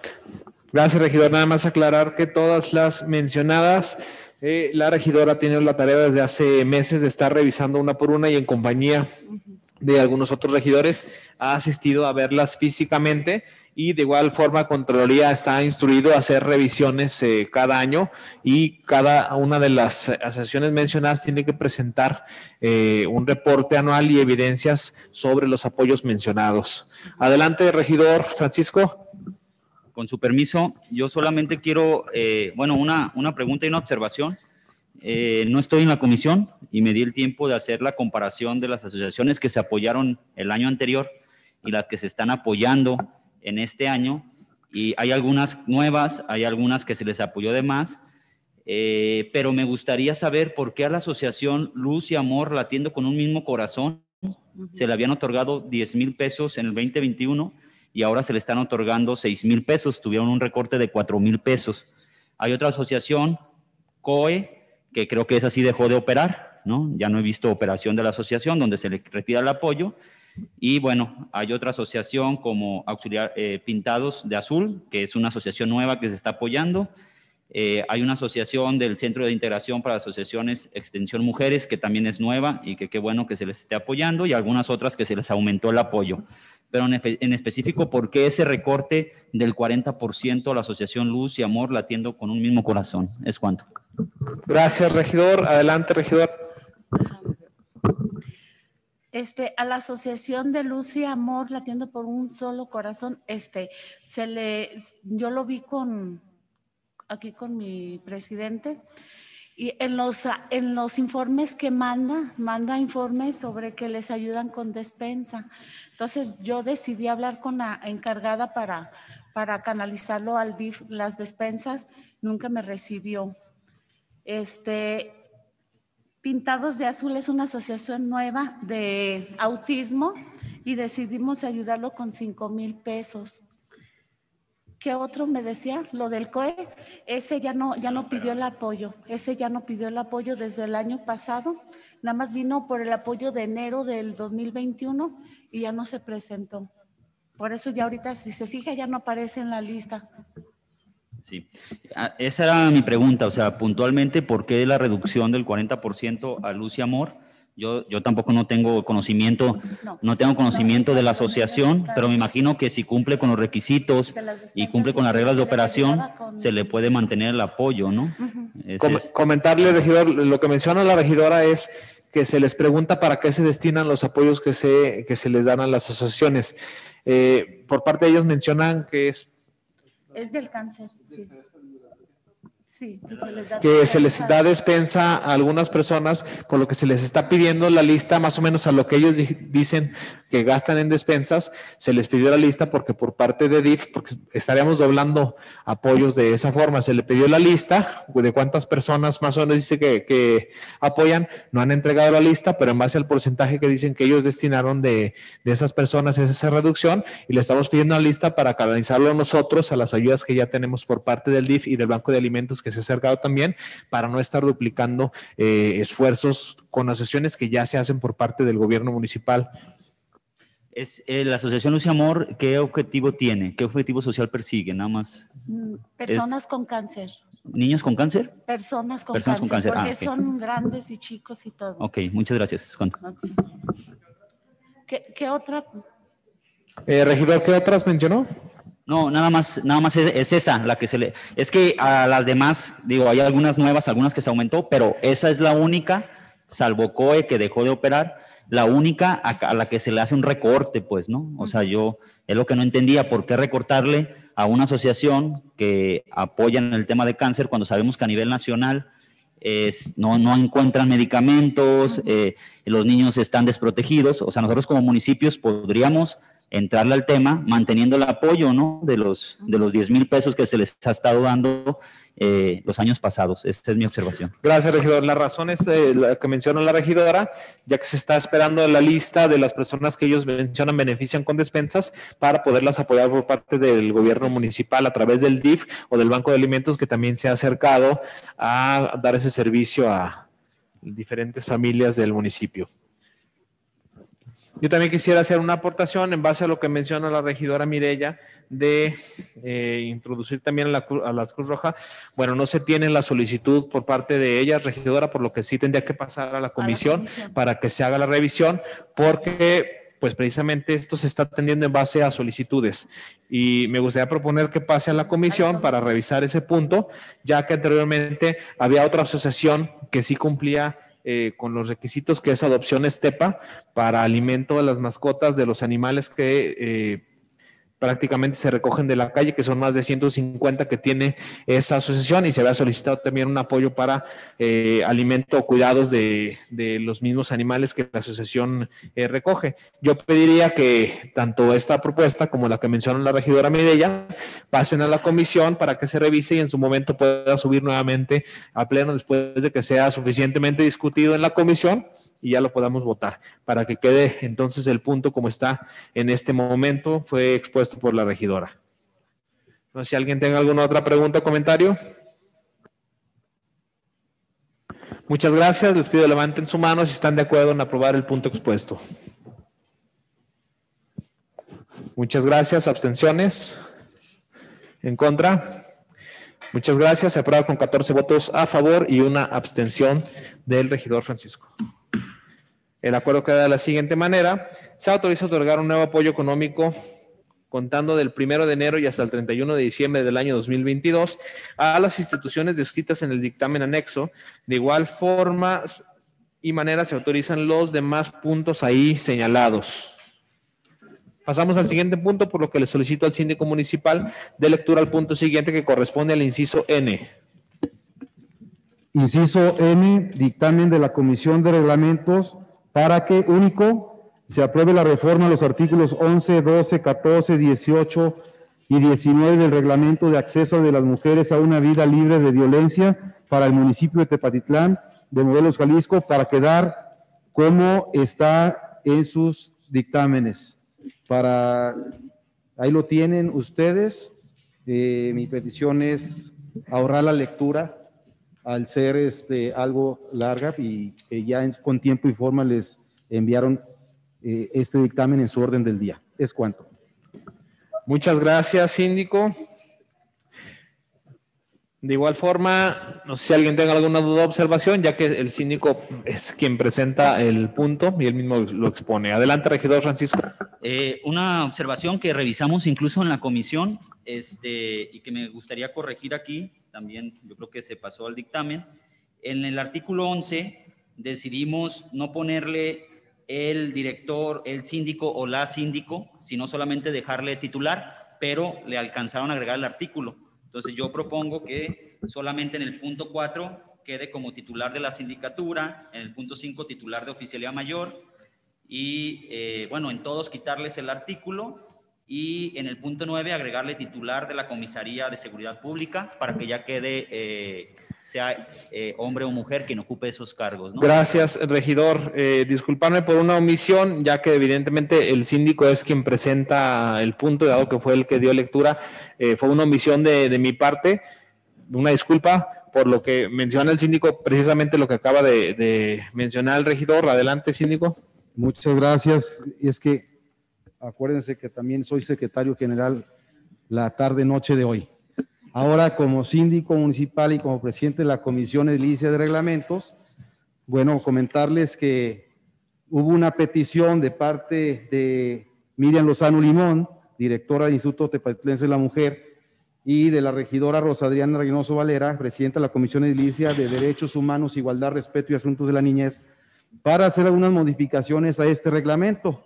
Comentarles que este reglamento tiene como objeto establecer los criterios, objetivos y las directrices de acción que desde la perspectiva de género se utilizan para diseñar una política pública integral y coordinada en el municipio de Tepatitlán de Morelos, Jalisco, encaminadas a detectar, atender, prevenir, sancionar y erradicar cualquier tipo y modalidad de violencia contra las mujeres en el cumplimiento de la obligación de promover y respetar, proteger y garantizar el derecho de las mujeres, niñas y adolescentes a una vida libre de violencia y con la finalidad de lograr de manera eficaz el pleno desarrollo de sus derechos humanos en el municipio.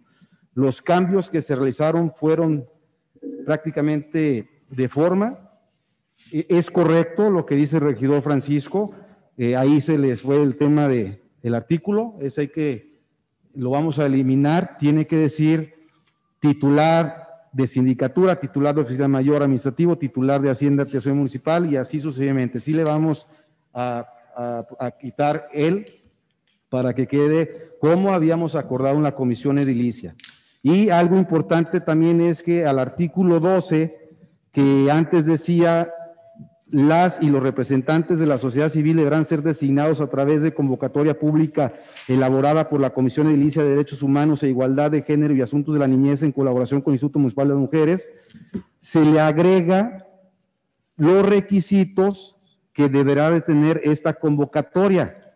Ahora dice, las y los representantes de la sociedad civil deberán ser designados a través de la convocatoria pública elaborada por la comisión anteriormente mencionada en colaboración con el Instituto Municipal de la Mujer, mismas que se apegará a lo siguiente. Uno, ser ciudadana o ciudadano mexicano y estar en pleno gozo de ejercicio de sus derechos civiles y políticos. Dos, contar con identificación oficial vigente. Tres, que tenga representación de una organización de la sociedad civil. Cuatro, contar con conocimientos en el tema de violencia contra las mujeres y los derechos humanos de las mujeres. Cinco, proporcionar una cuenta de correo electrónico para que servirá para hacerles llegar cualquier comunicación.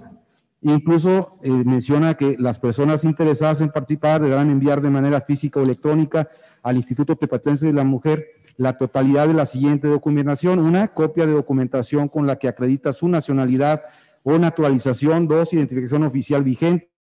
Tres, acreditación de la organización civil. Cuatro, escrito libre o carta de intención de no más de cinco cuartillas donde manifiesta la voluntad de participar y señalando las razones. Eh, también cambia eh, dentro de este reglamento eh, los, los nombres de las comisiones edilicias, ya que al principio de esta administración pues cambiamos lo que fue la Comisión de Desarrollo Humano y la Comisión de, de Edilicia de Derechos Humanos, y entonces se corrige a como debe de ser estas comisiones. En general son, insisto, cambios de, de forma, no de fondo, por lo que lo dejo a su consideración. ¿Es cuanto? Muchas gracias, síndico. Ahora sí, eh, ¿alguien tiene alguna otra aclaración que hacer? Adelante, licenciado. Yo nada más, eh, gracias, presidente. Eh, solamente cuestión de redacción, no sé, síndico, en el, en el 12, que dice que las y los representantes de la sociedad civil deberán ser designados a través de la convocatoria. O sea, sí es correcto así, a través de la convocatoria deben ser designados. O sea, no sé, como que eh, es cuestión de redacción. Yo eh, pensaba, no sé ahorita, pero no sé cuál es tu punto de vista. Decía que deben ser designados de acuerdo con las bases señaladas en la, no sé, cuestión de redacción, pero no sé por qué quedó la redacción así. Lic- Licenciado, bueno, es que dice a través de convocatoria pública Ajá. elaborada por la Comisión Edilicia de Derechos Humanos, Asunto de la Niñez, Igualdad y Respeto eh, y Asunto de la Niñez en colaboración con el Instituto Municipal de las Mujeres, mismas que se apegará a lo siguiente. O sea, a través de convocatoria pública que se apegará a lo siguiente. Ajá. No, digo, salvo su mejor opinión, pues, Está bien, sí, no, no, está bien, gracias. no, no, a la orden, regidor. Muchas gracias, eh, síndico. ¿Alguien tiene alguna otra observación? Muchas gracias. Les pido levanten su mano si están de acuerdo en aprobar el punto expuesto. Muchas gracias. Se aprueba por unanimidad. El acuerdo queda de la siguiente manera. Se aprueba la reforma a los artículos 11, 12, 14, 18 y 19 del Reglamento de Acceso de las Mujeres y una vida libre de violencia para el municipio de Tepatitlán de Morelos, Jalisco, de conformidad con el dictamen correspondiente. Pasamos al siguiente punto, por lo que le solicito al síndico municipal de lectura al punto siguiente que corresponde al inciso O. Inciso O, dictamen de la Comisión de Movilidad colegiada con la Comisión de Derechos Humanos, Igualdad, Respeto y Asuntos de la Niñez para que, primero, se apruebe llevar a cabo diversas acciones con el fin de hacer valer el derecho a la movilidad de las personas con discapacidad, así como a los adultos mayores, por lo que se propone lo siguiente. Uno, socializar y dar a conocer el Plan Integral de Movilidad Urbana Sustentable, PIMUS Tepatitlán, al interior de la estructura organizacional del municipio de Tepatlán de Morelos para que la toma de decisiones sean orientadas a las personas que lo necesiten y al exterior a toda la población en general para conocer el objetivo y las necesidades de la movilidad integral sustentable de esta ciudad. Dos, contratar un analista especializado en movilidad adscrito a la dependencia de Implan. Y tres, revisión de los reglamentos referentes en materia de la atención, inclusión y desarrollo integral de personas con discapacidad del Instituto Municipal de Planeación Implan de zonificación, de planeación para el desarrollo integral de los servicios de vialidad y tránsito y transporte, así como desarrollo urbano y obra pública, todos del municipio de Tepatlán de Morelos, Jalisco, lo anterior a fin de proponer las reformas necesarias enfocadas a la perspectiva de derechos humanos. Segundo, se informe al honorable Congreso del Estado de Jalisco sobre las acciones a realizarse en este municipio con el fin de garantizar los derechos del sector de la población que nos ocupa. Es cuanto. Muchas gracias, síndico. Adelante, ciudadano regidor Francisco Javier Aceves Aldrete, presidente de la Comisión de Movilidad, tiene el uso de la voz. Con su permiso, señor presidente. Bueno, este dictamen que se presenta a consideración del Pleno es como respuesta a un exhorto que deriva el legislativo, donde se exhorta a los 125 presidentes municipales, a sus ayuntamientos, para tomar acciones necesarias en la eliminación y modificación de barreras arquitectónicas tanto en vialidades, banquetas y edificios públicos para garantizar el derecho humano a la movilidad y accesibilidad de las personas con discapacidad de adultos mayores. Recordar que en la Constitución, pues eh, ya considera la movilidad como un derecho y hablando movilidad no solamente como el medio de transporte, sino cómo se mueven las personas caminando, en bicicleta, en algún automóvil. Eh, considerar que los edificios públicos y las áreas, sobre todo públicas, pues carecemos de estos mecanismos para que en verdad a las personas que más vulnerables puedan tener acceso a, la, este derecho eh, de la movilidad.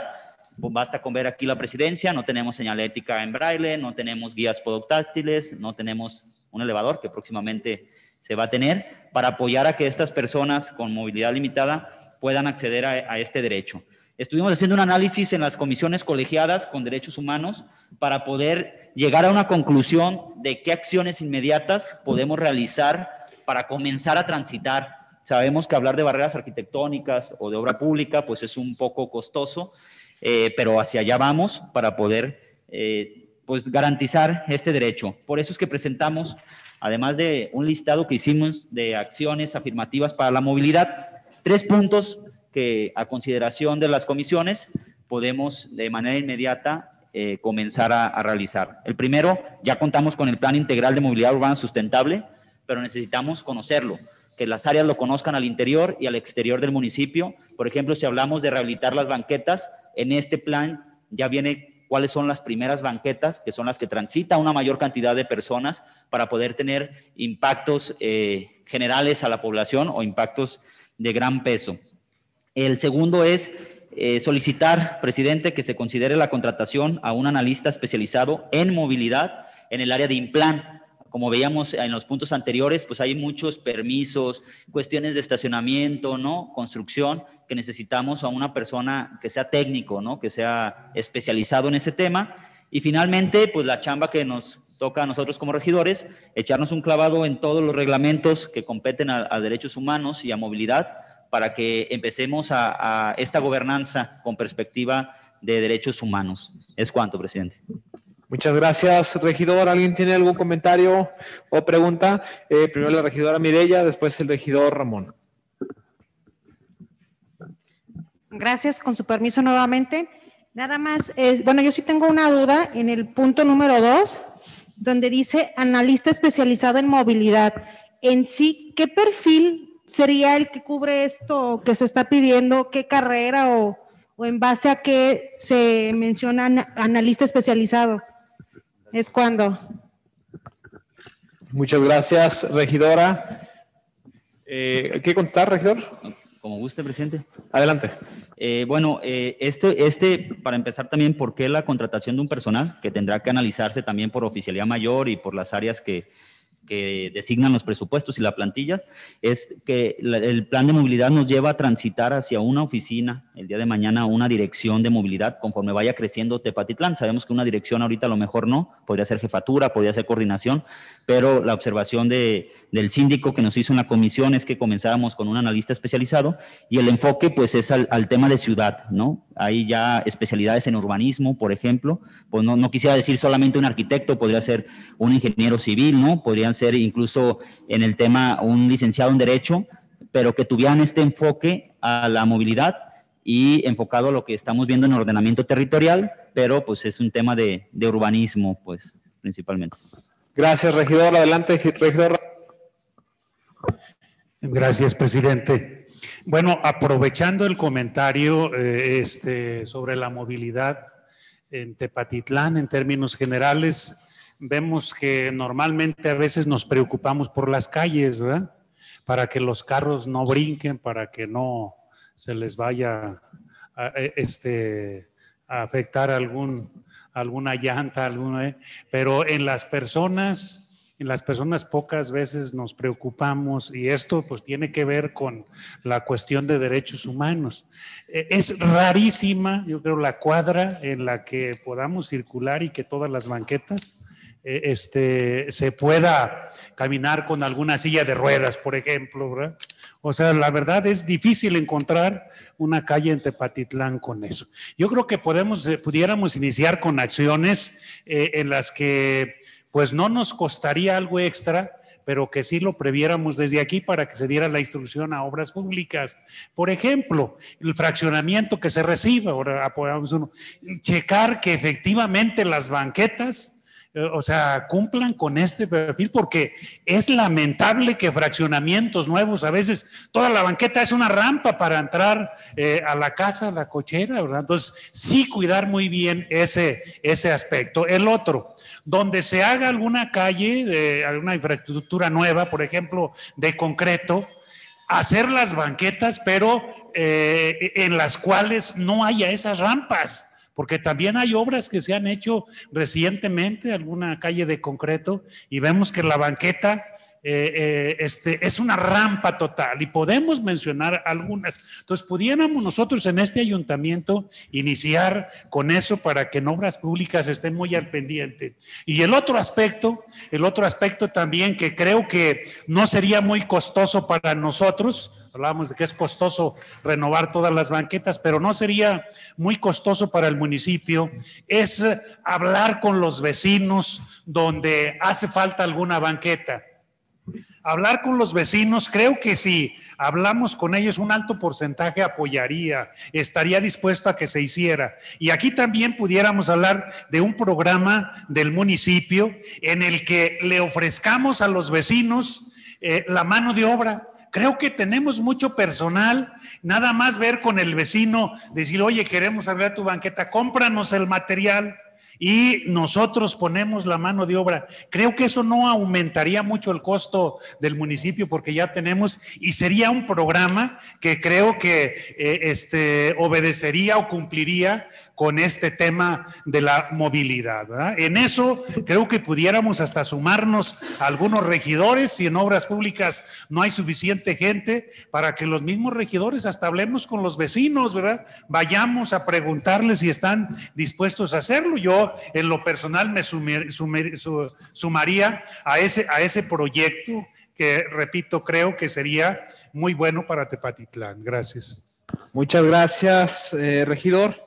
Eh, comentarles, hace en unos puntos anteriores se mencionó desde hace ya algunas semanas que se reunió el equipo de obras públicas eh, con un servidor, una audiencia donde, donde pues ya prácticamente están trabajando en revisando el, el reglamento de obra pública del municipio para hacer las adecuaciones y adaptaciones necesarias, precisamente para que sea enfocado a un, eh, un municipio incluyente que sea respetado.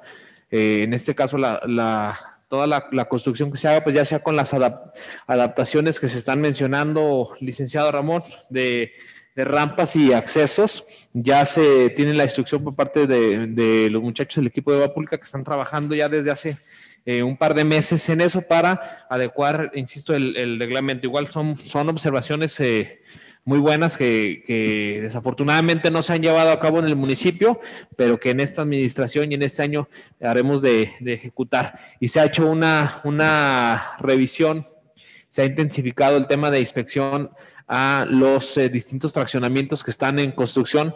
Eh, precisamente para eh, exigirles a algunos que todavía no, o invitarles a algunos que todavía no están regularizados, precisamente que pasen a, a invitarlos a, a, hacer las cosas como se debe y de acuerdo al, al reglamento municipal.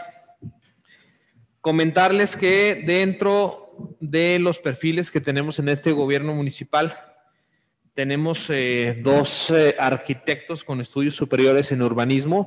Uno es el arquitecto David Martín del Campo, que es el jefe de ordenamiento territorial, y el otro es el arquitecto Pedro Paul Flores Navarro, que es el, jefe del Instituto Municipal de Planeación, que es el, el IMPLAN, y un tercer arquitecto con estudios aún no concluidos, pero de igual forma en urbanismo, que es la arquitecta Tania Gómez, que es la coordinadora de ordenamiento urbano y rural, precisamente para la atención en los temas eh, que acabamos, de mencionar, que tienen que ver con toda la movilidad, que se enfoca, como menciona el regidor, el perfil más cercano en este caso, pues es los que contengan conocimiento en urbanismo, que ya tenemos tres perfiles muy buenos trabajando en, en, en esas áreas y eh, igual yo estoy completamente a favor de agregar eh, un cuarto que, se, que esté trabajando a través del Implan precisamente para enfocado, digamos, a los temas de, de movilidad. No sé si alguien tenga alguna otra pregunta o comentario. Muchas gracias. Les pido levanten su mano si están de acuerdo en aprobar el punto expuesto. Muchas gracias. Se aprueba por unanimidad. El acuerdo queda de la siguiente manera.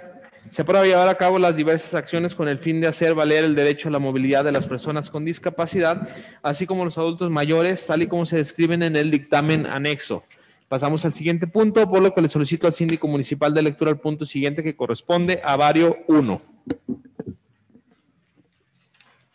Con gusto, presidente.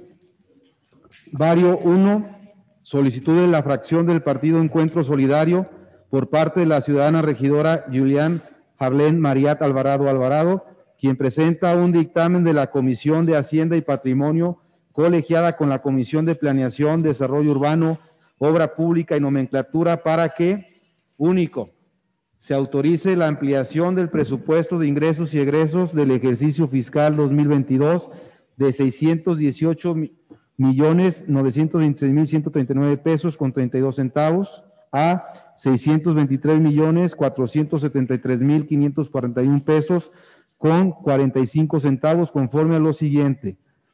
Remanentes recursos 50,300, participaciones federales 4 millones 331 mil 402 pesos con 13 centavos, impuesto predial 216 mil pesos, remanentes totales 4 millones 547 mil 4 millones 547 mil 402 pesos con 13 centavos. ¿Es cuánto, presidente? Muchas gracias, síndico. Adelante, regidora Juliana Arlet Mariat Alvarado Alvarado. Tiene el uso de la voz. Gracias, señor presidente. Pues bueno, es nada más para la autorización de la ampliación del presupuesto de ingresos y egresos que estuvimos ya discutiendo el tema y tienen la información desde el primero de febrero en la Comisión de Hacienda y Patrimonio. ¿Es cuánto? Muchas gracias, regidora. ¿Alguien tiene algún comentario? Adelante, regidora. Eh, presidente, con su permiso, yo solicitaría que se desagende este punto en el sentido de que el punto no lo está agendando la representante del Partido Encuentro Solidario. El partido en el oficio está agendado por los presidentes de la comisión como comisión. Entonces yo creo que ahí, por los acuerdos que hemos tomado de que los puntos varios sean eh, agendados directamente por la, por la, persona, o en este caso la comisión, o al menos de que sí sea un punto vario por parte de la Comisión de Hacienda y Patrimonio o la Comisión de Obra Pública, pero no es un punto vario de la regidora del Partido Encuentro Solidario.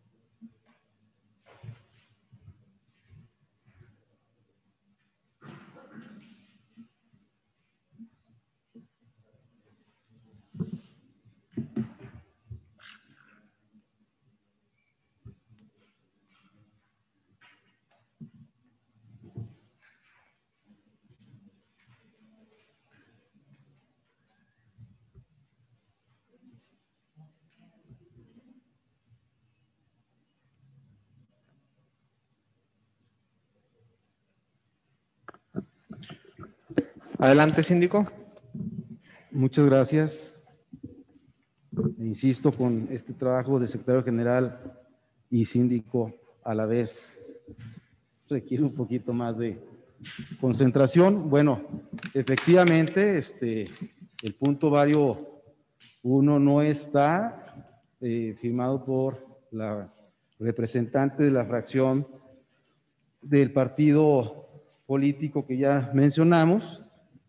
Eh, sin embargo, pudiera, pudiera, en un tema de buena voluntad, ya que este tema es importante para el municipio, ya que en el punto vario 2 eh, se va a hablar de lo que se va a hacer con esta ampliación de presupuesto, en un tema de buena voluntad, porque insisto, es importante para el municipio lo que viene en el punto vario 2, pudiéramos votarlo a favor. Eso es una, es una propuesta que hace su servidor. Obviamente está a discusión y a debate. Es cuanto, presidente. Muchas gracias, síndico. Efectivamente, el punto, eh, bueno, deriva de una comisión colegiada de Hacienda y Patrimonio con Obra Pública, donde es también integrante la regidora Juliana Led María de Alvarado Alvarado. Por lo que de igual forma, y dado que es un punto importante para el municipio que requiere ser atendido de manera urgente, también solicitaría que de buena voluntad se vote. Adelante, regidor. Sí, buenas noches. Con su permiso nuevamente, presidente. Eh, yo considero que aunque pues la regidora Yuli no preside ninguna de las comisiones y es integrante eh, y participó en la comisión edilicia en la colegiada. Y yo considero que es una de sus facultades el presentar este tipo de, de puntos y lo pudiera hacer de viva voz si así lo autorizan los integrantes de este ayuntamiento, que es la máxima autoridad de gobierno, y si lo autorizamos con mayoría de votos a su solicitud expresa de viva voz de la regidora, yo considero que lo podemos realizar. Es cuanto. Gracias, regidor. Adelante, regidor Francisco. Bueno, yo nada más este, recordar, ¿no? Recordar que se tomó un acuerdo donde se iba a subir un punto vario por fracción edilicia. A mí, ah, independientemente, yo sé que es algo bueno para el municipio, pero se han hecho, se han hecho eh, sesiones extraordinarias, ¿no? Para no incumplir estos puntos. Y a mí lo que me preocupa es que pues sea un tema de simulación, ¿no? De decir, pues lo suben por el Partido Encuentro Solidario para después subir un punto por el Partido Acción Nacional. O sea, también no se trata de somos o no somos, ¿no? De ser, de ser muy claros, porque sí, lo que no me late es que pues a las demás fracciones nos quieran ver la cara, ¿no? Entonces, eh, ahora sí se pide que, sea, que se vote para darle el uso de la voz, pero si hubiera sido otra fracción, pues indudablemente no se hubiera hecho así, ¿no? Nada más hacer constar. Gracias. Gracias. Eh, pido la palabra primero la, la regidora Susana.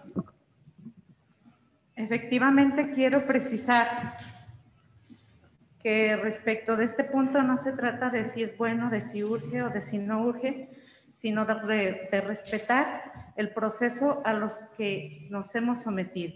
¿Sí? Hay un acuerdo que dice un punto por fracción y aquí no lo está presentando la regidora con su nombre y apellido. Como regidora para presentar el punto vario a tratar. Y siguiente, quedamos también que los puntos que tienen que ver con comisiones no se tratan en puntos varios. Si vamos a desbaratar el acuerdo y a proponer otro, entonces propongamos primero que se modifique ese acuerdo en las primeras sesiones de ayuntamientos donde acordamos que así va a ser. Gracias. Gracias, regidora. Adelante, síndico. Muchas gracias.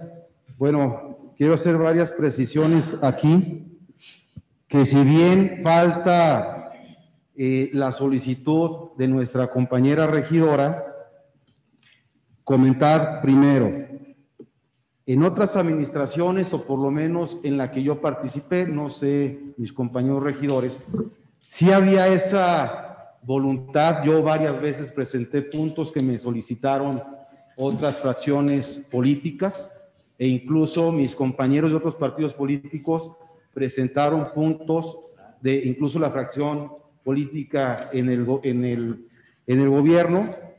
Eh, se pide el apoyo y si hay esa buena voluntad se da. Aquí nada más, obviamente falta ese, pues esa, esa solicitud la regidora, sí, sí falta, pues, pero sí hay la buena voluntad de que si son puntos importantes, de tratarlos, aunque no pertenezcamos incluso a la comisión edilicia que lo está eh, proponiendo. Segundo, eh, para que vean que no es un tema de, simulación, es que lo está solicitando el presidente de la Comisión Edilicia de Hacienda y Patrimonio y el presidente de la Comisión Edilicia de Planeación, Desarrollo Urbano, Obra Pública y Nomenclatura, no el coordinador de la fracción del partido en este, en este sentido.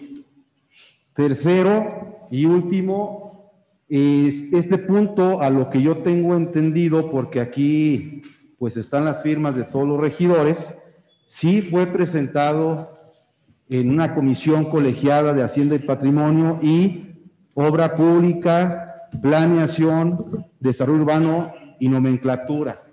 Es decir, yo, yo votaba en contra si no hubiera sido, si no hubiera pasado, perdón, por la comisión edilicia correspondiente, pero en este caso sí pasó. Yo por eso vuelvo a, pedirles en ese tema de la buena voluntad, si lo tienen a bien, que al faltar simplemente esa petición de la regidora, que insisto es una práctica normal de gobierno para que avancen los asuntos, se pueda aprobar este punto para poder proseguir con varios dos. Muchas gracias. Muchas gracias, síndico. Adelante, eh, regidor eh, Francisco, después la regidora Susana y después el regidor Gerardo. Eh, bueno, yo también, al igual que el regidor eh, Chacho, hacer una- unas precisiones, ¿no? La, la estructura que se planea de una sesión ordinaria de, de este pleno de ayuntamiento es cierta estructura, ¿no? Iniciativas, dictámenes, puntos varios. Y se decidió en la primera sesión de ayuntamiento que en los puntos varios efectivamente se presentaran puntos que correspondían a, las- a los posicionamientos, a las fracciones edilicias que representamos, que representamos aquí. A mí me llama la atención, en primero es que la regidora no defienda el punto, ¿no? Que estén defendiendo el punto el Partido Acción Nacional. Y la segunda es, la simulación no está en el contenido del punto. La simulación que yo menciono es en, el- en la forma en que se presenta el punto, porque nos acaba de decir el, el síndico que efectivamente no lo presenta la, la regidora del Partido Encuentro Social, ¿no? Todos tenemos buena voluntad, yo estoy de buena voluntad de, de votarlo y aprobarlo como lo hice en comisión, pero lo que yo estoy señalando es que se está incumpliendo esos acuerdos, entonces votemos primero, primero votemos para que el Partido Acción Nacional hoy pueda presentar dos puntos varios, que son los dos regidores presidentes pues corresponden al partido, ¿no? Y entonces yo lo que busco es tener claridad en lo que se está votando, en las formas que se están haciendo. A eso es a lo que yo le llamo simulación, no al contenido del punto, ¿no? Sino a la presentación misma del punto, porque vuelvo a insistir, y si el partido Hagamos hubiera presentado de esta forma el punto, ¿se le hubiera tenido la buena voluntad también? Esa es mi pregunta, es cuánto. Muchas gracias, regidor. Bueno, yo creo que ya, ya lo mencionó dos veces, regidor, el hubiera, digo, el hubiera no, no estamos para hubiera, el hubiera no existe. Digo, no especule lo que hubiera pasado, si se presenta o no se presenta, cuando se presente entonces y tenga los hechos, pues entonces se puede hablar con argumentos sólidos. Eh, menciona que la regidora no está defendiendo el punto, pues no se trata de defender o no un punto, no estamos defendiendo un punto, estamos mencionando que es la importancia que tiene el punto por el cual lo queremos votar, no es que la regidora tenga que defenderlo ella, sino que creo que es importante para el municipio y cualquier regidor de los que estamos presentes puede hacer eh, los comentarios que se han mencionado para que el punto que es presentado sea votado. Adelante, regidor Gerardo. Gracias, presidente. Bien, yo nada más hacer un comentario con respecto a lo que comentan mis anteriores compañeros regidores. Efectivamente, sí hay un acuerdo de ayuntamiento donde se dice que se presenta un punto vario por cada fracción de partido. Y pues la verdad es que efectivamente la licenciada uh, Yuli este, presenta esta como miembro de, de, la comisión, que estoy de acuerdo este, que lo haya presentado, pero no como uh, miembro del partido, pues que lo haya hecho de manera personal como miembro de la comisión. Yo estoy totalmente de acuerdo porque todos los regidores tenemos esa facultad, pero se presentó aquí con un nombramiento de, de, de una, de un partido político, pues se puede omitir. La verdad es que yo mañana estoy disponible para la sesión extraordinaria para que se termine, vamos, eh, esta situación de, de, que si es legal o no es legal. Vamos este, haciendo las cosas como hemos venido haciéndolas, presidente, con esa armonía que tenemos hasta ahorita, que no sea este punto el que traiga a colación esa ruptura que, que hemos hecho durante este tiempo, porque ya escuché al regidor Francisco de que se tomen otros acuerdos este, o, de, o, terminar con, con el acordado de, en las sesiones anteriores. Entonces yo creo que no está discusión, esto vamos aprobándolo, de hecho aparece mi firma ahí, lo aprobamos, porque es un proyecto bueno, lo dijimos ese día, y estoy en la mejor disposición de, de seguir apoyando este, este proyecto que, tú encabezas, que es la creación de, esta, de este parque, pues. Entonces, nomás sería aquí es algo de cuestión de fondo, no de, no de trasfondo, pues. ¿Sí? Gracias, regidora. Adelante, regidora Susana. Eh, efectivamente, la buena voluntad existe, yo creo que en todos los que estamos aquí, si no, no estuviéramos. Pero yo nada más quiero recordar que los servidores públicos y en el caso que nos ocupa el presidente municipal y los regidores, solamente estamos facultados a cumplir lo que la ley nos marca. No nos podemos salir de ahí. Y a nosotros nos rigen leyes, reglamentos y los acuerdos que aquí tomamos también son actos legales. Si vamos a actuar en contra de ellos, pues entonces estaremos marcando un precedente violentando lo que nosotros mismos acordamos. Es cuanto. Gracias, regidora. ¿Alguien tiene algún otro comentario? Adelante, regidora. Bueno, pues primero, eh, yo no tengo por qué, contestándole al compañero Francisco, yo no tengo por qué simular nada ni le debo nada a nadie. Yo estoy trabajando con la voluntad de trabajar por el pueblo. Lo presenté precisamente porque es un punto que urge. No estoy discutiendo el punto y no tengo por qué abogar el punto. El punto ya está aprobado, ya viene de comisión. Simplemente era que, que quedara en el pleno. Creo que todos estuvimos en la comisión, estuvo colegiada. Yo no vengo, y se los dije a todos, yo no vengo a hacer campaña ni a trabajar por un color. Yo vengo a trabajar por un municipio y es lo que he mostrado. Trabajar por Tepatitlán y tiene mi buena voluntad para seguir apoyando los proyectos que sean de impacto para la sociedad. Es cuanto, presidente.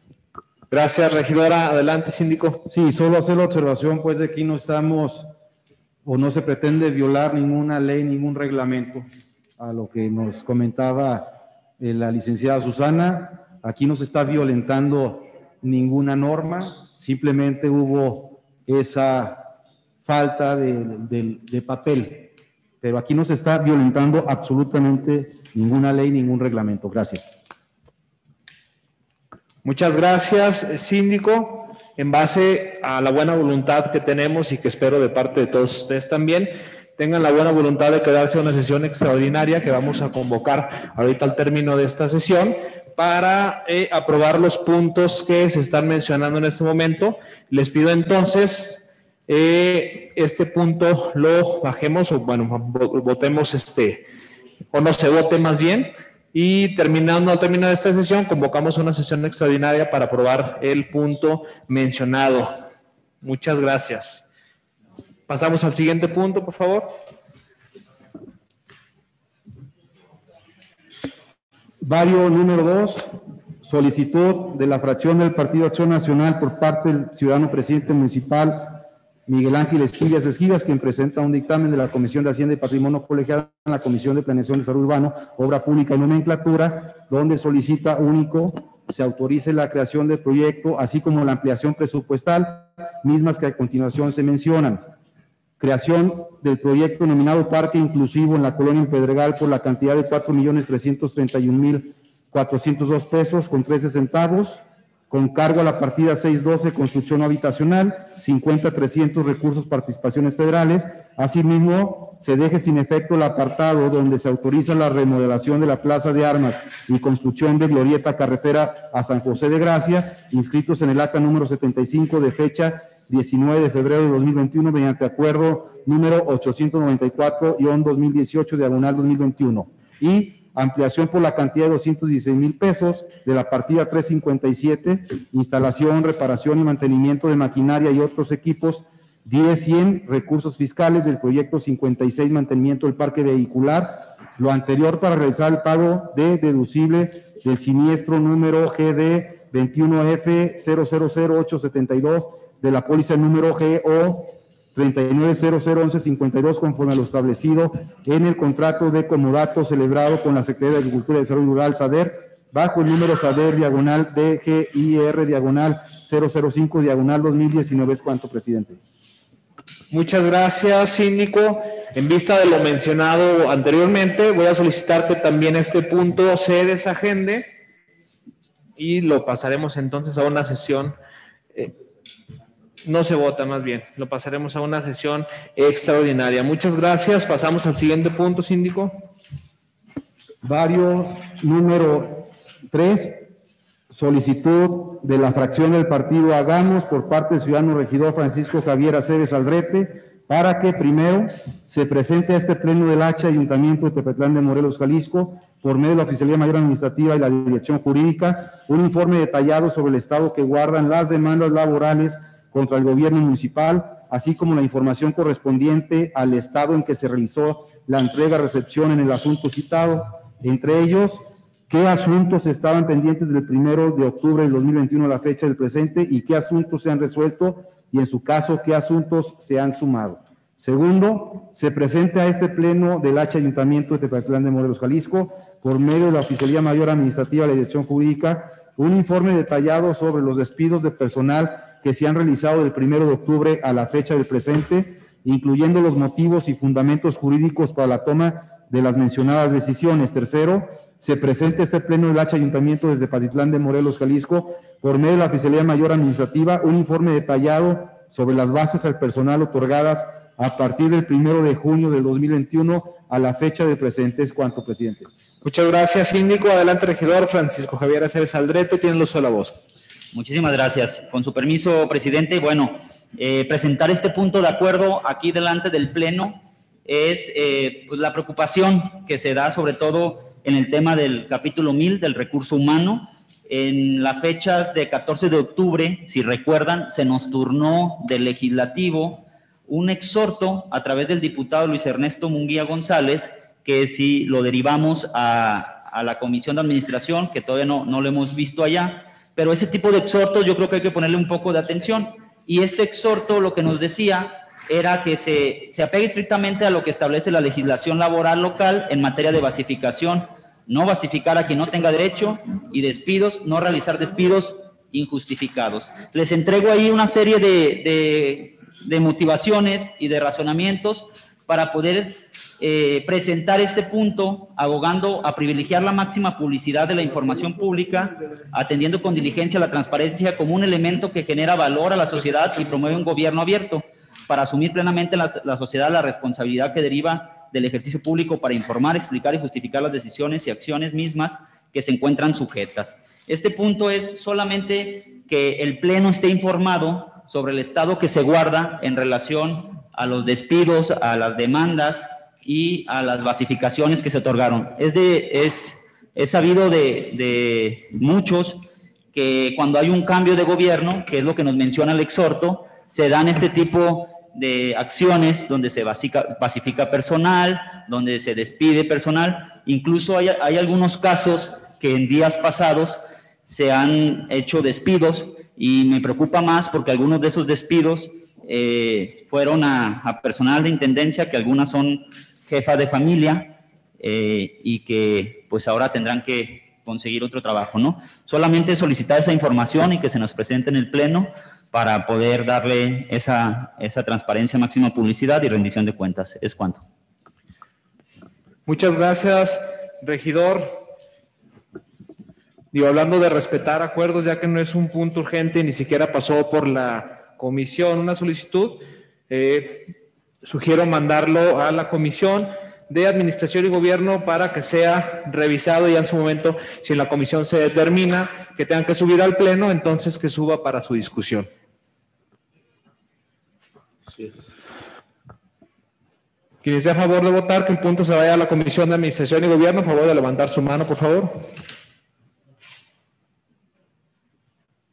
Muchas gracias. Abstenciones. ¿En contra? Se aprueba para que se mande a la Comisión de Administración y Gobierno con 13 votos a favor y dos abstenciones.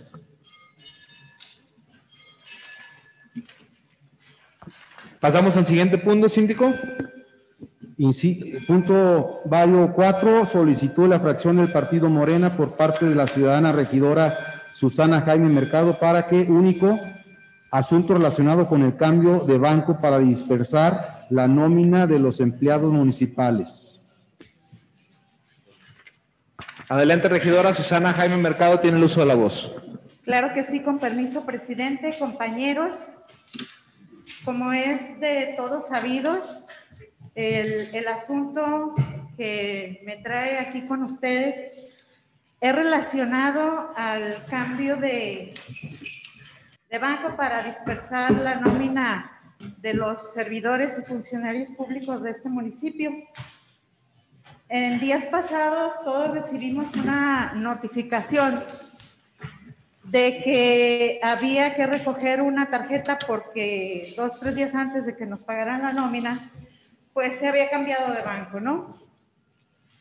Y en la entrega de las mismas, pues todos nos llevamos la sorpresa que al aceptar esta tarjeta, pues íbamos a perder derechos.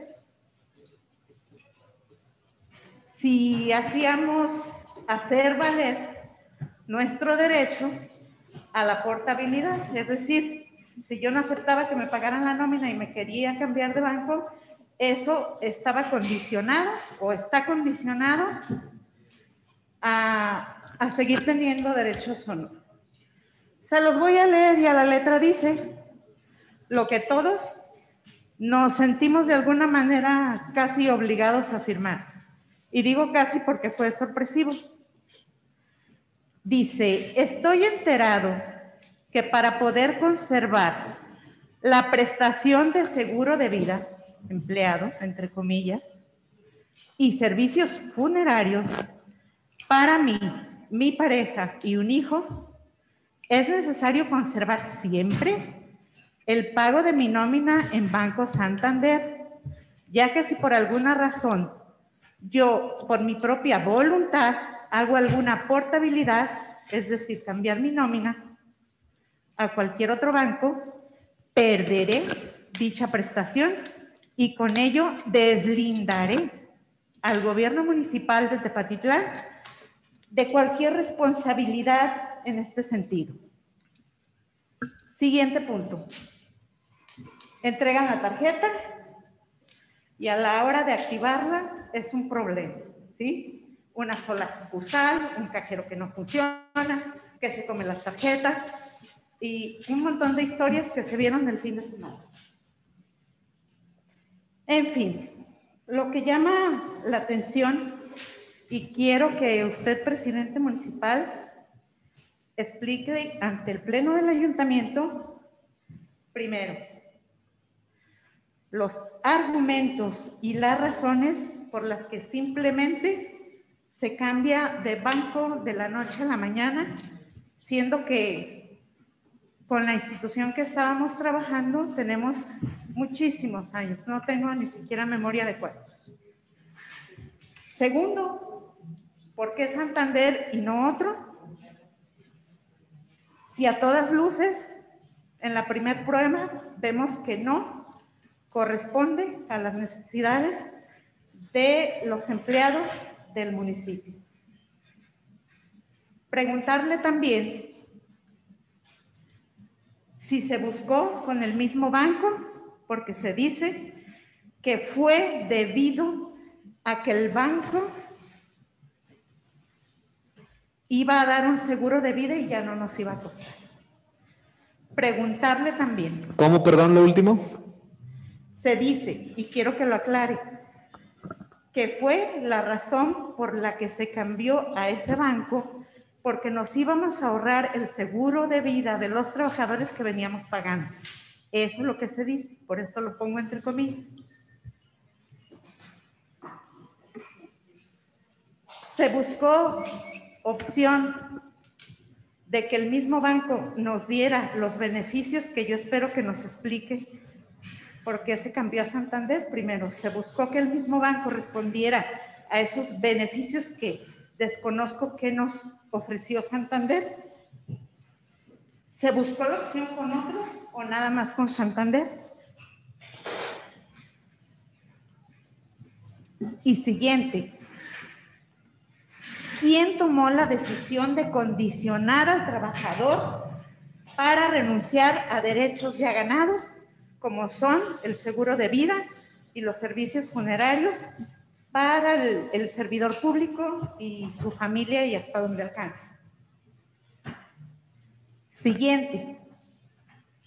¿Por qué este asunto no se vio en comisiones y en el pleno del ayuntamiento si se están vulnerando derechos ya ganados? ¿Se firmó algún tipo de convenio?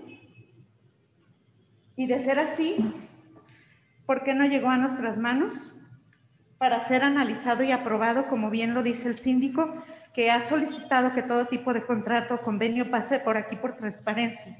¿Por qué no se nos dio a conocer? Y por último, ¿quién autorizó y por qué no se llevó a cabo el debido proceso? Es Juan. Muchas gracias, regidora. Ahí tenga las preguntas a la mano porque fueron muchas por si se nos pasa alguna para poderle contestar y aclarar todas sus dudas. En primera, no se está condicionando a, a ningún trabajador. Digo, usted es libre de retirar su nómina en cualquier momento, si usted así lo desea. A otro banco, Banco Santander, está ofreciendo como un plus el, el servicio que usted acaba de, mencionar, pero si el banco no es de su agrado, lo puede cambiar en cualquier momento. Obviamente, el, servicio extra que el banco adicional, al no tener este, su, su cuenta con el banco, pues no contará con ese servicio adicional que el banco está otorgando. Eh, las condiciones del Banco Santander, bueno, eh, ahorita lo platicará, se nos ha ayudado Tacho a mencionar eh, un poquito de las condiciones que se dieron. Por supuesto que se invitó, de hecho vinieron varios bancos a platicar, a hacer sus diferentes propuestas, escucharon a todos y en base a las propuestas que hicieron se tomó la mejor propuesta que había para, para el municipio, para el gobierno de, municipal con este banco. Eh, por lo cual eh, próximamente van a colocar tanto más cajeros aquí en la sucursal como en Sierra Hermosa, que se colo- colocará otro cajero también para el beneficio de los trabajadores del ayuntamiento, además que está en disposición el uso de su banca electrónica y otros beneficios que se pusieron en esta primera quincena, como era que pudieran cobrar todos los empleados de ayuntamiento su tarjeta en cualquier banco sin costo eh, adicional por dicho servicio, digo, entre muchas eh, otras cosas. ¿Y por qué se hizo este cambio? Pues para hacer las cosas bien, precisamente para mejorar y tomar las mejores opciones eh, que había para este gobierno municipal. No porque se haya hecho algo de alguna forma en administraciones anteriores significa que lo tengamos que hacer igual. Estamos tratando de mejorar y por eso es que se realizó eh, de esta forma. Eh, Tacho, ¿me ayudas por favor a comentar, ya que tú estuviste presente pues prácticamente en todo el proceso? Algunas de las dudas de la regidora, no sé si, si te acuerdas de todas y si no ahorita para que las vuelva a leer. Gracias.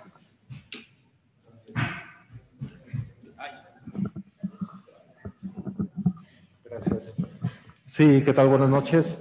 Eh, retomando, no, no me molestó todas las preguntas, regidora, pero eh, quiero comentarle que previo a la, a la toma de decisión, este, se tuvo, se hizo una invitación a todos los bancos, Banco Azteca, Bancomer, Banamex, eh, Banorte, Scotia, HCDC, Bajío, este, estuvieron participando este, en una reunión que tuvimos aquí en la sala de regidores, los estuvieron presentando sus propuestas y aparte nos las dieron por escrito. Una vez que hicimos el análisis y bajamos todas esas, propuestas a un archivo plano en Excel, se vieron cuáles eran las ventajas y desventajas de los diferentes bancos. Eh, quiero comentarle que se vieron más ventajas en el Banco Santander. Los demás bancos ofrecían un seguro de vida, digo, de muerte, de muerte accidental de 50 mil pesos. No eh, daban un servicio, gastos funerarios por 15 mil pesos. No ofrecían seguro de vida. eh, no ofrecían los beneficios que tiene esta cuenta, por ejemplo, este banco, que si vas y pagas o compras con tu tarjeta, te bonifican en efectivo, por ejemplo, en Soriana, este, el 20%, eh, y algunos otros beneficios que se les entregó a cada uno de los empleados. Todos los beneficios se le otorgaron por escrito a todos los empleados en el momento que le entregaron su tarjeta. Este banco en particular ofreció el servicio de, de, de, de seguro de vida, no únicamente para los empleados de base, sino también para los supernumerarios y los jubilados.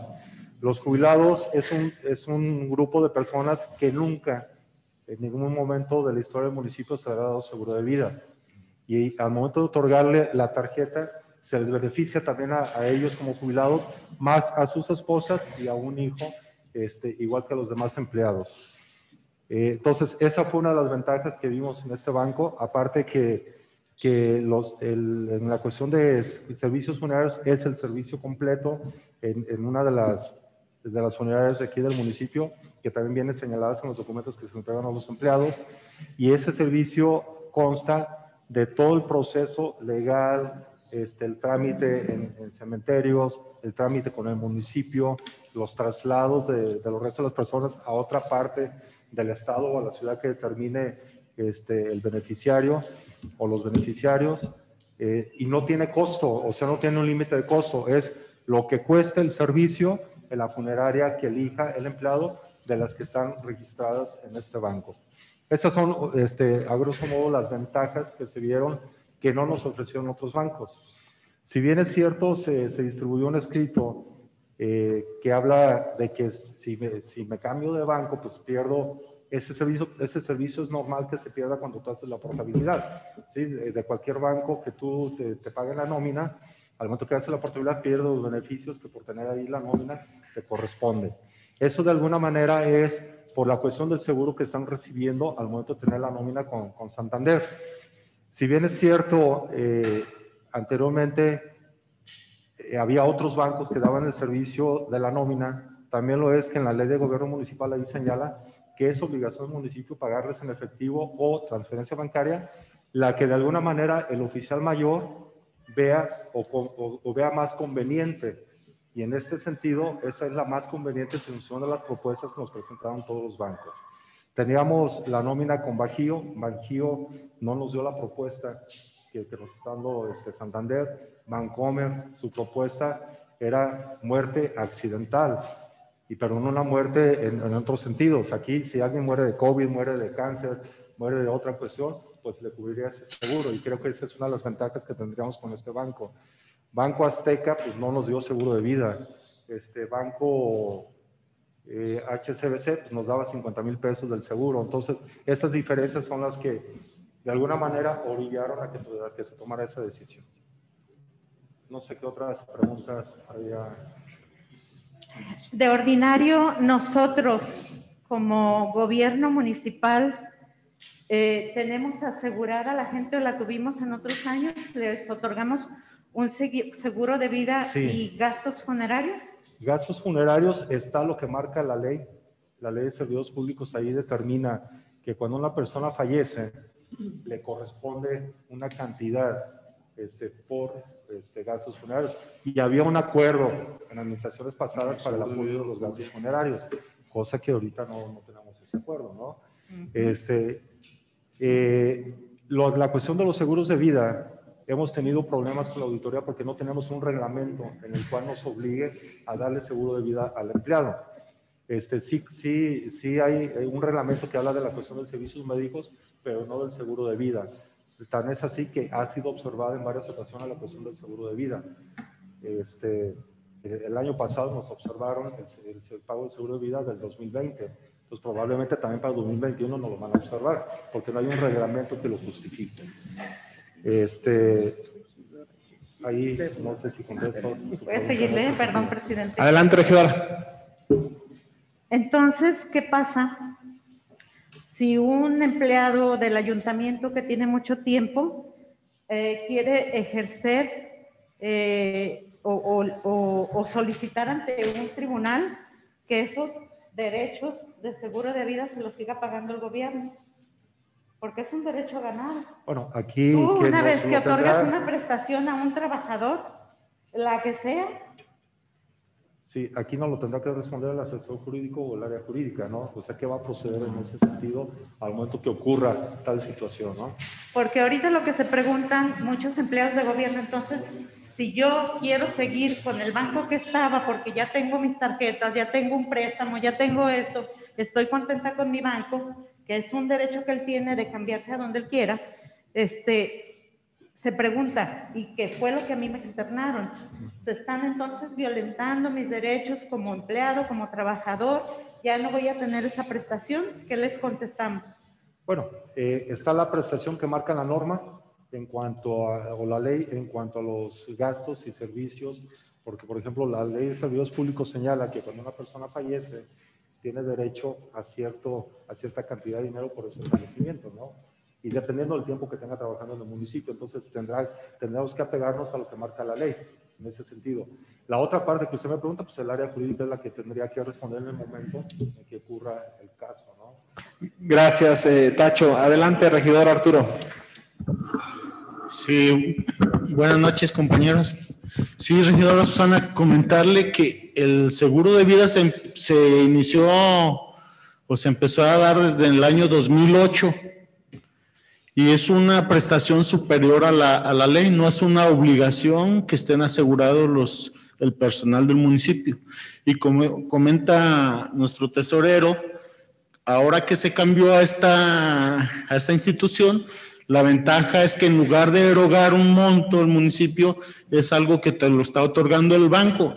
Y aparte, antes nada más se otorgaba el seguro de vida al personal de base no a los supernumerarios ni a los jubilados y pensionados. Entonces, de alguna manera, esto es un avance, es una mejora en general para los, para los trabajadores jubilados y pensionados del, del municipio, siendo ya sea de base, de confianza o supernumerarios. Entonces, es, en lugar de ser algo negativo, es algo positivo. Y sabemos que todos los cambios siempre es resistencia y siempre hay gente que, pues, eh, al cambiarle las cosas, pues de alguna manera salen eh, a lo mejor por desinformación afectadora, pero esto es realmente es un beneficio para los trabajadores, es un beneficio para el municipio y para la población en general, porque esos recursos que se pagaban al contratar un seguro eh, externo, esos recursos se van a poder utilizar para alguna obra o servicio en beneficio de la población. Es cuanto. Señalando de igual forma, regidora, que no es necesario si algún trabajador del ayuntamiento tenga una o, tuviera una cuenta de banco con otro banco, pues no es, no es necesario que la, que la cancele. Si usted tenía su cuenta de banco en otro banco, puede seguir con su cuenta de banco. Simplemente la nómina se paga acá y por la banca digital puede hacer su, su transferencia a su banco de, de- de preferencia. Digo, no es necesario que ningún empleado cancele su cuenta de banco si la tiene en otro banco para continuar con este beneficio. Mire. Adelante, regidora, y después el regidor. Con compañero Francisco. Si yo estoy exponiendo el punto aquí, es porque hay mucha desinformación respecto de esto.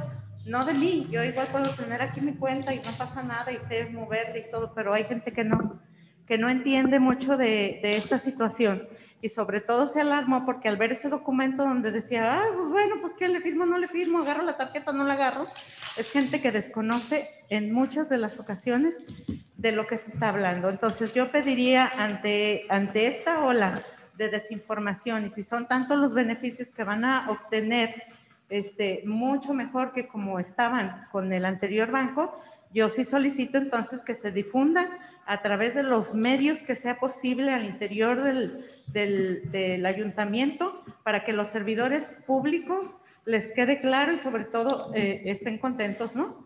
Porque sí se, sí se levantó esa inconformidad, fundada o no fundada, existió o existe o hasta, hasta este momento quizá ya, ya se va a despejar con esto que estamos platicando. Gracias, regidora. Adelante, regidor. Eh, con su permiso, yo nada más tratar de puntualizar tres puntitos. El primero es, entonces, a lo que se ha platicado, el municipio no le está como municipio ofertando un seguro de vida a los empleados. ¿Es esto correcto? El municipio como municipio no les está ofertando un seguro de vida a los empleados. O sea, no está considerado. Ok. Entonces, aquí yo creo que es un tema eh, que de diferenciar la responsabilidad como patrones y la responsa- los beneficios de un banco, ¿no? Efectivamente, el banco, este banco, cualquier banco, personalmente o por trabajar, nos ofrecen muchos beneficios, ¿no? Para tratar de llevar las inversiones a los bancos. Eh, lo, lo que preocupante aquí es que el oficio o la media hoja que nos hicieron firmar, que si hacemos la portabilidad se nos quita el seguro de vida, eh, es una, tiene el membrete del municipio, es exhibido por el municipio, no por el banco. Si fuera un plus o una prestación del banco, el banco te dice, mira, yo te ofrezco como banco esto, esto, e incluso puedes sacar hasta una tarjeta de crédito, bla, bla, bla, bla, bla. Ahora no, nosotros como municipio estamos condicionando la portabilidad como municipio, o sea, tratando de dar una ventaja quitando otros derechos, pues, ¿no? Ganar unos, quitando otros, creo que los derechos son progresivos. Entonces, eh, creo, yo veo esa preocupación de que se firmó un oficio, una hoja con el membrete del municipio para renunciar a la portabilidad, que es también un derecho, eh, y que al momento de que si alguien decide hacer esta portabilidad por cualquier motivo, sepa usar la tecnología, no sepa usar la tecnología, el municipio no se hace responsable efectivamente, como dice, de su seguro de vida. Y la última pregunta es, eh, perdón, no, no, no, ¿no creen que se pudo haber consultado a los trabajadores antes de tomar la decisión? ¿Es cuánto? Gracias, regidor. Lo que se firma es una notificación que hace el municipio de los beneficios y lo que sucedería en todo caso si se hace la portabilidad de la cuenta. Es una notificación y se firma que las personas están enteradas de dicha información. Y bueno, la labor de todos aquí es velar por el, por el buen uso de las eh, finanzas públicas y en este caso el mejor beneficio para los trabajadores, como ya los puso hace un momento Tacho y el médico Arturo, que con esta acción no solamente se cuidan las finanzas del municipio, sino que se les está dando más beneficio, incluso a trabajadores que no tenían estos beneficios y que ahora, gracias a, este trato, se está haciendo. Evidentemente, todos eh, los cambios que se están haciendo son para mejorar, pero siempre hay resistencia a muchos cambios, pero en este caso pues es eh, para mejorar y los trabajadores están obteniendo mejores beneficios, al igual que el municipio, mejor manejo de sus finanzas. Adelante, regidor Gerardo. Gracias, presidente. Bien, después de escuchar a Tacho todos los beneficios que nos trae el haber cambiado de institución bancaria, ya lo comentó la regidora Susana, los empleados del ayuntamiento se darán cuenta y sabrán que la decisión que se tomó este, por parte de ustedes es buena. Sí se tiene que difundir, porque de hecho sí había algún malestar de, de, empleado y comentarlo. Yo también fui a hacer mi cambio este, o a cambiar mi NIP y sí es dos cajeros que también ya este, disipaste mi duda, presidente, en el sentido de que va a haber más cajeros, que eso es lo que le molestaba a los empleados del ayuntamiento, tener que hacer una fila de 10 o 20 personas para poder llegar y perdían mucho tiempo. Ya con lo que acabas de mencionar, se van a abrir más cajeros con los beneficios que está hablando Tacho sobre, perdón, tesorero, este, sobre este cambio, no me queda la menor duda de que se hizo una buena acción por parte del ayuntamiento o del gobierno municipal para que los empleados gocen de, un beneficio mayor. Y sí, este, yo creí que el gobierno municipal también otorgaba un seguro de, de, funerarios. Y bueno, yo creí que iban a tener dos por parte del ayuntamiento y por parte de la empresa. También ya se disipó la duda de que nada más va a ser el del banco porque nosotros no ofertamos ese, ese beneficio. Es mi aportación. Sí se necesita dar esta información a los empleados, buscar la manera de decir que por ahorita este, tendrán pues esa molestia de nada más tener dos cajeros, pero que en un tiempo más va a abrir más, porque nada más tenemos una sucursal de Santander, yo no sé si en Capilla exista, pero bueno, ya con lo que, con lo que dijo el presidente no te va a costar nada sacar tu lana, pues.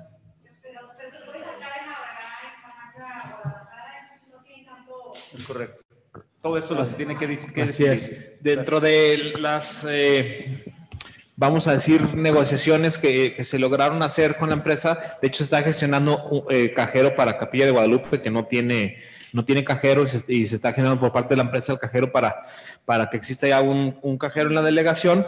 Sí se pasó obviamente información a todos, de, hecho en, en, los documentos que se entregaron por parte del banco, ahí tiene el instructivo incluso, de la banca electrónica que sí se va a socializar más el tema, de hecho, eh, esta semana antes de la próxima, perdón, antes de la próxima quincena, se va a trabajar para hacerles, vamos a decir, un tutorial a los empleados del uso de la banca electrónica, que como bien le mencionaba la regidora, si, si tiene su cuenta en otro banco, no necesita cancelarla de nada, a través de la banca electrónica puede hacer el traspaso de su dinero en el día que se le deposite al, instante, digo, sin ningún, sin ningún problema de banco a banco y prácticamente sin costo.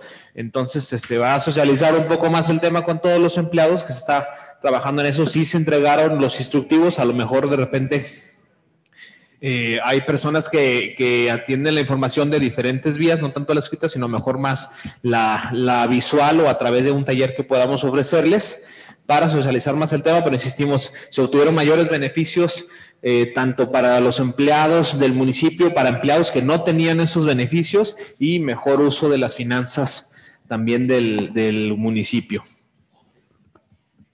¿Algún otra, otro comentario o aclaración? Adelante, Tacho. Eh, adicional a los, a los dos cajeros que le ofrecieron al municipio, hoy vino la gerente de Santander y van a conseguir otros dos cajeros más. Se van a hacer cuatro cajeros adicionales a los que ya se tienen. Eh, una en la parte alta, otro en la central camionera, más el que se va a poner en Sierra Hermosa y el de Capilla de Guadalupe. Y, y, dentro de las ventajas que también que están dentro de Santander es que tú mismo, desde, tu banca electrónica, desde el celular, puedes subir tu nómina inversión y está generando rendimientos este, a, a, un día, a siete días, a un mes, dos meses, este, y en automático cuando se termina la inversión se, se te regresa a tu cuenta, pero ya con los con los rendimientos. O sea, son otras ventajas adicionales a los otros bancos, que tú mismo eliges a, qué plazo y en qué determinado plazo son las tasas de interés.